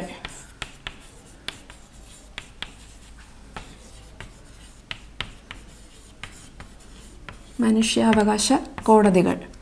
ചാപ്റ്റർ ആറിലാണ് പറയുന്നത്. ഓക്കെ അപ്പോൾ മനുഷ്യാവകാശ സംരക്ഷണ നിയമത്തിലെ ആറാമത്തെ അധ്യായത്തിലാണ് മനുഷ്യാവകാശ കോടതികളുടെ രൂപീകരണത്തെ പറ്റി പറയുന്നത്. അതിൽ തന്നെ രണ്ട് വകുപ്പുകളാണ് നമുക്ക് പഠിക്കാനുള്ളത്. സെക്ഷൻ മുപ്പത്. സെക്ഷൻ മുപ്പതിലാണ് ഈ മനുഷ്യാവകാശ കോടതികൾ രൂപീകരിക്കണം എന്നുള്ളതിനെ പറ്റി പറയുന്നത്. അതായത് ഓരോ ജില്ലയിലും സെഷൻസ് കോടതിയെ എന്തായിട്ട് നിയമിക്കണം? എന്താണ് മനുഷ്യാവകാശ കോടതിയായിട്ട് വിജ്ഞാപനം വഴി പ്രഖ്യാപിക്കണം എന്ന് പറഞ്ഞിരിക്കുന്നത്. ഓക്കെ അപ്പോൾ ഓരോ ജില്ലയിലും മനുഷ്യാവകാശ കോടതികൾ ഉണ്ടായിരിക്കണം. അതെങ്ങനെയുള്ള സെഷൻസ് കോർട്ടിനെയാണ് ഇങ്ങനെ വിജ്ഞാപനം വഴി പ്രഖ്യാപിക്കേണ്ടത്. സെഷൻ കോടതികളെ. ഓക്കെ ഓരോ ജില്ലയിലും ഒരു സെഷൻസ് കോടതിയെ മനുഷ്യാവകാശ കോടതിയായിട്ട് വിജ്ഞാപനം വഴി പ്രഖ്യാപിക്കേണ്ടതാണ്. ആരോടുകൂടി കൂടിയാലോചിച്ച ശേഷം സംസ്ഥാന സർക്കാർ സംസ്ഥാന എന്താണ് ഹൈക്കോടതി ചീഫ് ജസ്റ്റിസുമായി കൂടിയാലോചിച്ച ശേഷം ഓരോ ജില്ലയിലും ഒരു സെഷൻസ് കോടതിയെ മനുഷ്യാവകാശ കോടതിയായിട്ട് പ്രഖ്യാപിക്കണം എന്ന് പറയുന്നതാണ് സെക്ഷൻ മുപ്പത്. അടുത്തത് സെക്ഷൻ മുപ്പത്തി ഒന്നിൽ പറയുന്നത് സ്പെഷ്യൽ പബ്ലിക് പ്രോസിക്യൂട്ടറുടെ നിയമനം.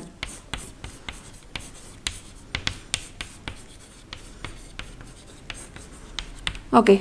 അപ്പോൾ ഈ നമ്മുടെ ഓരോ ജില്ലയിലുള്ള മനുഷ്യാവകാശ കോടതികളിൽ സ്പെഷ്യൽ പബ്ലിക് പ്രോസിക്യൂട്ടറെ നിയമിക്കണം എന്ന് പറയുന്നതാണ് സെക്ഷൻ മുപ്പത്തി ഒന്നിൽ പറഞ്ഞിരിക്കുന്നത്. ഈ രണ്ട് സെക്ഷൻസുമാണ് നമ്മുടെ ഈ ചാപ്റ്റർ ആറിൽ പറഞ്ഞിരിക്കുന്നത്. ഓക്കെ അപ്പോൾ മനുഷ്യാവകാശ കോടതികൾ എങ്ങനെ ഓരോ ജില്ലയിലും ഒരു സെഷൻസ് കോടതിയെ മനുഷ്യാവകാശ കോടതിയായി പ്രഖ്യാപിക്കണം? ആര്? സംസ്ഥാന സർക്കാർ. നമ്മുടെ ഹൈക്കോടതി ചീഫ് ജസ്റ്റിസുമായി കൂടി ആലോചിച്ച ശേഷം വിജ്ഞാപനം വഴി പ്രഖ്യാപിക്കേണ്ടതാണ്. അടുത്ത സെക്ഷൻ മുപ്പത്തൊന്നിൽ പറഞ്ഞിരിക്കുന്നത് ഈ മനുഷ്യാവകാശ കോടതികളിൽ സ്പെഷ്യൽ പബ്ലിക് പ്രോസിക്യൂട്ടർമാരെ നിയമിക്കണം എന്നുള്ളതാണ് പറഞ്ഞിരിക്കുന്നത്. ഓക്കെ അടുത്തത് ഇതുമായിട്ട് ബന്ധപ്പെട്ട മറ്റ് ചില കാര്യങ്ങളാണ് പറയാനുള്ളത്. സംസ്ഥാന കമ്മീഷനിലോ അതുപോലെ തന്നെ നിലവിലുള്ള ഏതെങ്കിലും നിയമത്തിന് കീഴിൽ രൂപീകരിക്കപ്പെട്ട മറ്റേതെങ്കിലും കമ്മീഷനിലോ നിലവിലിരിക്കുന്ന കേസുകൾ ഉണ്ട് എങ്കിൽ ആ കേസുകളിന്മേൽ ആരന്വേഷണം നടത്താൻ പാടില്ല. ദേശീയ മനുഷ്യാവകാശ കമ്മീഷൻ അന്വേഷണം നടത്താൻ പാടില്ല. അതായത് ഇപ്പോൾ ഒരു സംസ്ഥാന കമ്മീഷന്റെ കേ- ആ, കീഴിലിരിക്കുന്ന ഒരു കേസോ അല്ലെങ്കിൽ മറ്റേതെങ്കിലും ഒരു അന്വേഷണ ആ, കീഴിലിരിക്കുന്ന ഏതെങ്കിലും ഒരു മനുഷ്യാവകാശ ലംഘനം സംബന്ധിക്കുന്ന കേസ് കേസ് ആരന്വേഷിക്കാൻ പാടില്ല. ദേശീയ മനുഷ്യാവകാശ കമ്മീഷൻ അന്വേഷിക്കാൻ പാടില്ല എന്ന് പറയുന്നുണ്ട്. അതുപോലെ തന്നെ മനുഷ്യാവകാശ ലംഘനമാകുന്ന ഏതെങ്കിലും ഒരു പ്രവൃത്തി ചെയ്തത് ചെയ്തിട്ട് ഒരു വർഷത്തിന് ശേഷം ഈ കമ്മീഷനുകളൊന്നും തന്നെ ഈ ഒരു അന്വേഷണം നടത്താൻ പാടില്ല. അതായത് ഒരു വർഷം ഒരു ലംഘനം ഉണ്ടായിക്കഴിഞ്ഞ് ഒരു വർഷത്തിനകത്ത് മാത്രമേ ഈ കേസുകളിൽ കമ്മീഷന് ഇടപെടാൻ പറ്റുകയുള്ളൂ അല്ലെങ്കിൽ അന്വേഷണ വിചാരണ നടത്താൻ പറ്റുകയുള്ളൂ. അത് ദേശീയമായാലും സംസ്ഥാനമായാലും അങ്ങനെ തന്നെയാണ്. ഒരു വർഷത്തിന് ശേഷം ആ ഒരു പ്രവൃത്തിയിന്മേൽ അല്ലെങ്കിൽ ആ ഒരു കേസിന്മേൽ അന്വേഷണ വിചാരണ നടത്താൻ വകുപ്പ് ഈ നിയമത്തിൽ പറയുന്നില്ല. ഓക്കെ.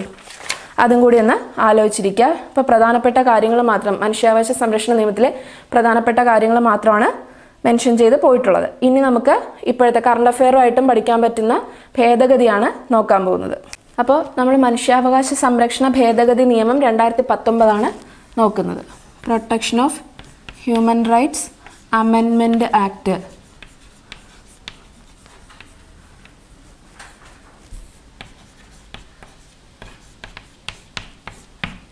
രണ്ടായിരത്തി പത്തൊൻപത് ഞാൻ പറഞ്ഞു മനുഷ്യാവകാശ സംരക്ഷണ നിയമത്തിന് രണ്ട് ഭേദഗതികളാണ് ഇത് ഇതുവരെയും വന്നിട്ടുള്ളത്. രണ്ടായിരത്തി ആറിലും രണ്ടായിരത്തി പത്തൊൻപതിൽ ആ രണ്ടായിരത്തി പത്തൊൻപതിലെ ഭേദഗതിയാണ് നമ്മൾ നോക്കുന്നത്.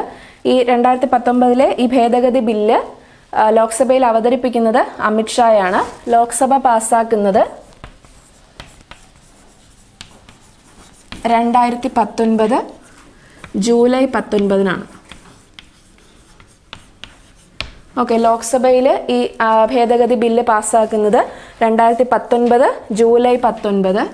അതുപോലെ രാജ്യസഭയിൽ പാസ്സാക്കുന്നത് രണ്ടായിരത്തി പത്തൊൻപത് ജൂലൈ ഇരുപത്തിരണ്ട്.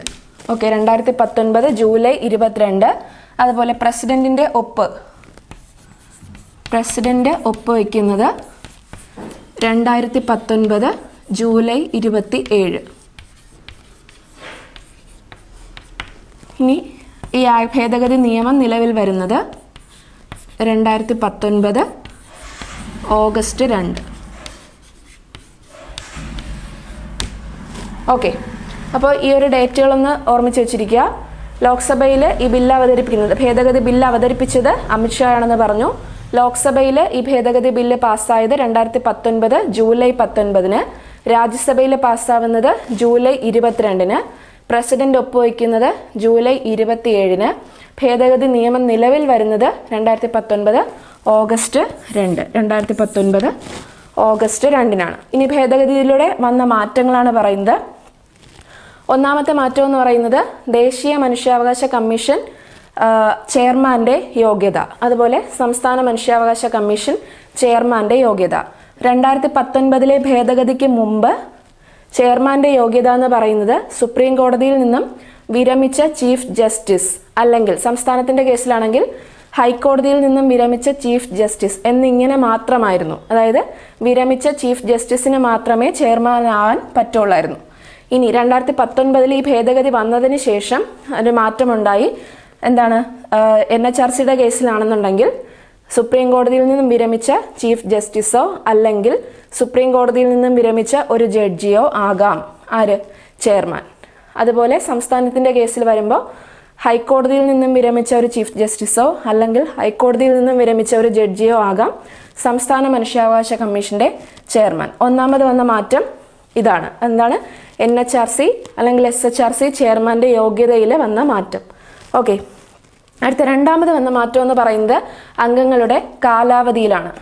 ദേശീയ മനുഷ്യാവകാശ കമ്മീഷൻ ആയാലും സംസ്ഥാന മനുഷ്യാവകാശ കമ്മീഷൻ ആയാലും മുമ്പ് അഞ്ച് വർഷം അല്ലെങ്കിൽ എഴുപത് വയസ്സെന്നുള്ളതായിരുന്നു. ഇപ്പോൾ ഭേദഗതിക്ക് ശേഷം എത്രയാണ്? മൂന്ന് വർഷം അല്ലെങ്കിൽ എഴുപത് വയസ്സ്. അപ്പോൾ കാലാവധിയിലും വന്ന മാറ്റം എങ്ങനെയാണ്? അഞ്ചെന്ന് പറയുന്നത് മൂന്നായിട്ട് മാറി. അഞ്ച് വർഷം എന്നുള്ളത് മൂന്ന് വർഷം. വയസ്സിൽ മാറ്റമല്ല എഴുപത് വയസ്സ് തന്നെയായിരുന്നു മുമ്പ്. ഓക്കെ. പിന്നെ ഇപ്പോൾ കൊണ്ടുവന്ന ഭേദഗതിയിലൂടെ കൊണ്ടുവന്നതാണ് ഇവർ പുനർനിയമനത്തിന് യോഗ്യരാണ് എന്നുള്ള കേസ് വന്നത് ഇപ്പോഴാണ്. രണ്ടായിരത്തി പത്തൊൻപതിലെ ഭേദഗതിയിലൂടെയാണ്. പക്ഷേ എന്താണ് എഴുപത് വയസ്സ് കഴിഞ്ഞു കഴിഞ്ഞാൽ പുനർനിയമനത്തിന് യോഗ്യരല്ല. ഓക്കെ. ഇനി എൻ എച്ച് ആർ സി അംഗങ്ങളുടെ എണ്ണത്തിൽ വന്ന മാറ്റമാണ്. അംഗങ്ങളുടെ എണ്ണം മുമ്പ് ദേശീയ മനുഷ്യാവകാശ കമ്മീഷൻ അംഗങ്ങളുടെ എണ്ണം മുമ്പ് അഞ്ചായിരുന്നു. ഇപ്പം അത് എത്രയായി? അംഗങ്ങളുടെ എണ്ണം ആറായി. മറ്റേ സംസ്ഥാന മനുഷ്യാവകാശ കമ്മീഷനിൽ മുമ്പും മൂന്ന് തന്നെയായിരുന്നു. ഓക്കെ. ഇനി ദേശീയ മനുഷ്യാവകാശ കമ്മീഷനിലെ അംഗങ്ങളുടെ എണ്ണം എന്ന് പറഞ്ഞു. അപ്പം നേരത്തെ മുമ്പ് എത്രയായിരുന്നു? ആദ്യത്തെ മൂന്ന് പേരുടെ കേസ് സെയിം തന്നെയായിരുന്നു. പിന്നെ രണ്ട് മനുഷ്യാവകാശ പ്രവർത്തകരായിരുന്നു മുമ്പുണ്ടായിരുന്നത് ഇപ്പം അതിൽ മൂന്ന് മനുഷ്യാവകാശ പ്രവർത്തകരായി. അതിലൊരു വനിത നിർബന്ധം. ഈ വ്യവസ്ഥകളൊക്കെ കൊണ്ടുവന്നത് ഈ രണ്ടായിരത്തി പത്തൊൻപതിലെ ഭേദഗതിയിലൂടെയാണ്. ഓക്കെ ഇനി എക്സ് ഒഫീഷ്യോ അംഗങ്ങളുടെ കേസിലും വ്യത്യാസം വന്നു. എക്സ് ഒഫീഷ്യോ അംഗങ്ങളുടെ എണ്ണം മുമ്പ് നാലായിരുന്നു. ഇപ്പം എത്രയായി? ഏഴായി. ഓക്കെ പുതുതായിട്ട് വന്നവരാരൊക്കെയാണ്? പിന്നാക്ക വിഭാഗ കമ്മീഷൻ ചെയർമാൻ ബാലാവകാശ കമ്മീഷൻ ചെയർമാൻ അതുപോലെ ഭിന്നശേഷി വികസന കമ്മീഷന്റെ ചീഫ് കമ്മീഷണർ. ഈ മൂന്ന് പേരും കൂടി എക്സ് ഒഫീഷ്യോ അംഗങ്ങളിൽ കൂടിച്ചേർന്നു. ഓക്കെ ഈ ഭേദഗതിയിലൂടെ. ഇനി കേന്ദ്രഭരണ പ്രദേശങ്ങളുമായി ബന്ധപ്പെട്ട മനുഷ്യാവകാശ പ്രവർത്തനങ്ങൾ നടത്താൻ കേന്ദ്ര ഗവൺമെന്റിന് ഒരു ഓർഡറിലൂടെ സംസ്ഥാന കമ്മീഷനെ ഏൽപ്പിക്കാവുന്നതാണ് അല്ലെങ്കിൽ അധികാരപ്പെടുത്താവുന്നതാണ് എന്ന് പറയുന്ന ഒരു പ്രൊവിഷനും രണ്ടായിരത്തി പത്തൊൻപതിലെ ഭേദഗതിയിലൂടെ വന്നു. ഏത് കേന്ദ്രഭരണ പ്രദേശം ഒഴികെ?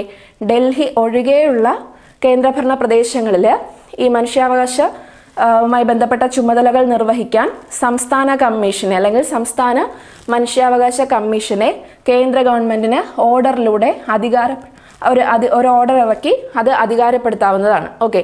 ഡൽഹി ഒഴികെയുള്ള കേസിൽ ഡൽഹിയുടെ കേസിലാണെന്നുണ്ടെങ്കിൽ അതിന് അധികാരമുള്ളത് ദേശീയ മനുഷ്യാവകാശ കമ്മീഷനാണ്. ആ ഒരു കാര്യം കൂടി രണ്ടായിരത്തി പത്തൊമ്പതിലെ ഭേദഗതിയിലൂടെയാണ് വന്നത്. ഈ ഭേദഗതി നിയമം നിലവിൽ വന്നത് ഡേറ്റ് ഓർമ്മിച്ചിരിക്കുക രണ്ടായിരത്തി പത്തൊൻപത് ഓഗസ്റ്റ് രണ്ട്. പിന്നെ പ്രധാനമായും വന്ന മാറ്റങ്ങൾ നമ്മൾ നിയമം പഠിച്ചു പോകുമ്പോൾ വന്ന മാറ്റങ്ങൾ അപ്പോഴപ്പോഴും പറഞ്ഞിട്ടുള്ളത് കൊണ്ട് അറിയാമായിരിക്കും. ഓക്കെ. അപ്പോൾ ഇത്രയാണ് മനുഷ്യാവകാശ നിയമം അല്ലെങ്കിൽ കമ്മീഷനുമായിട്ട് ബന്ധപ്പെട്ട് പറയാനുള്ളത്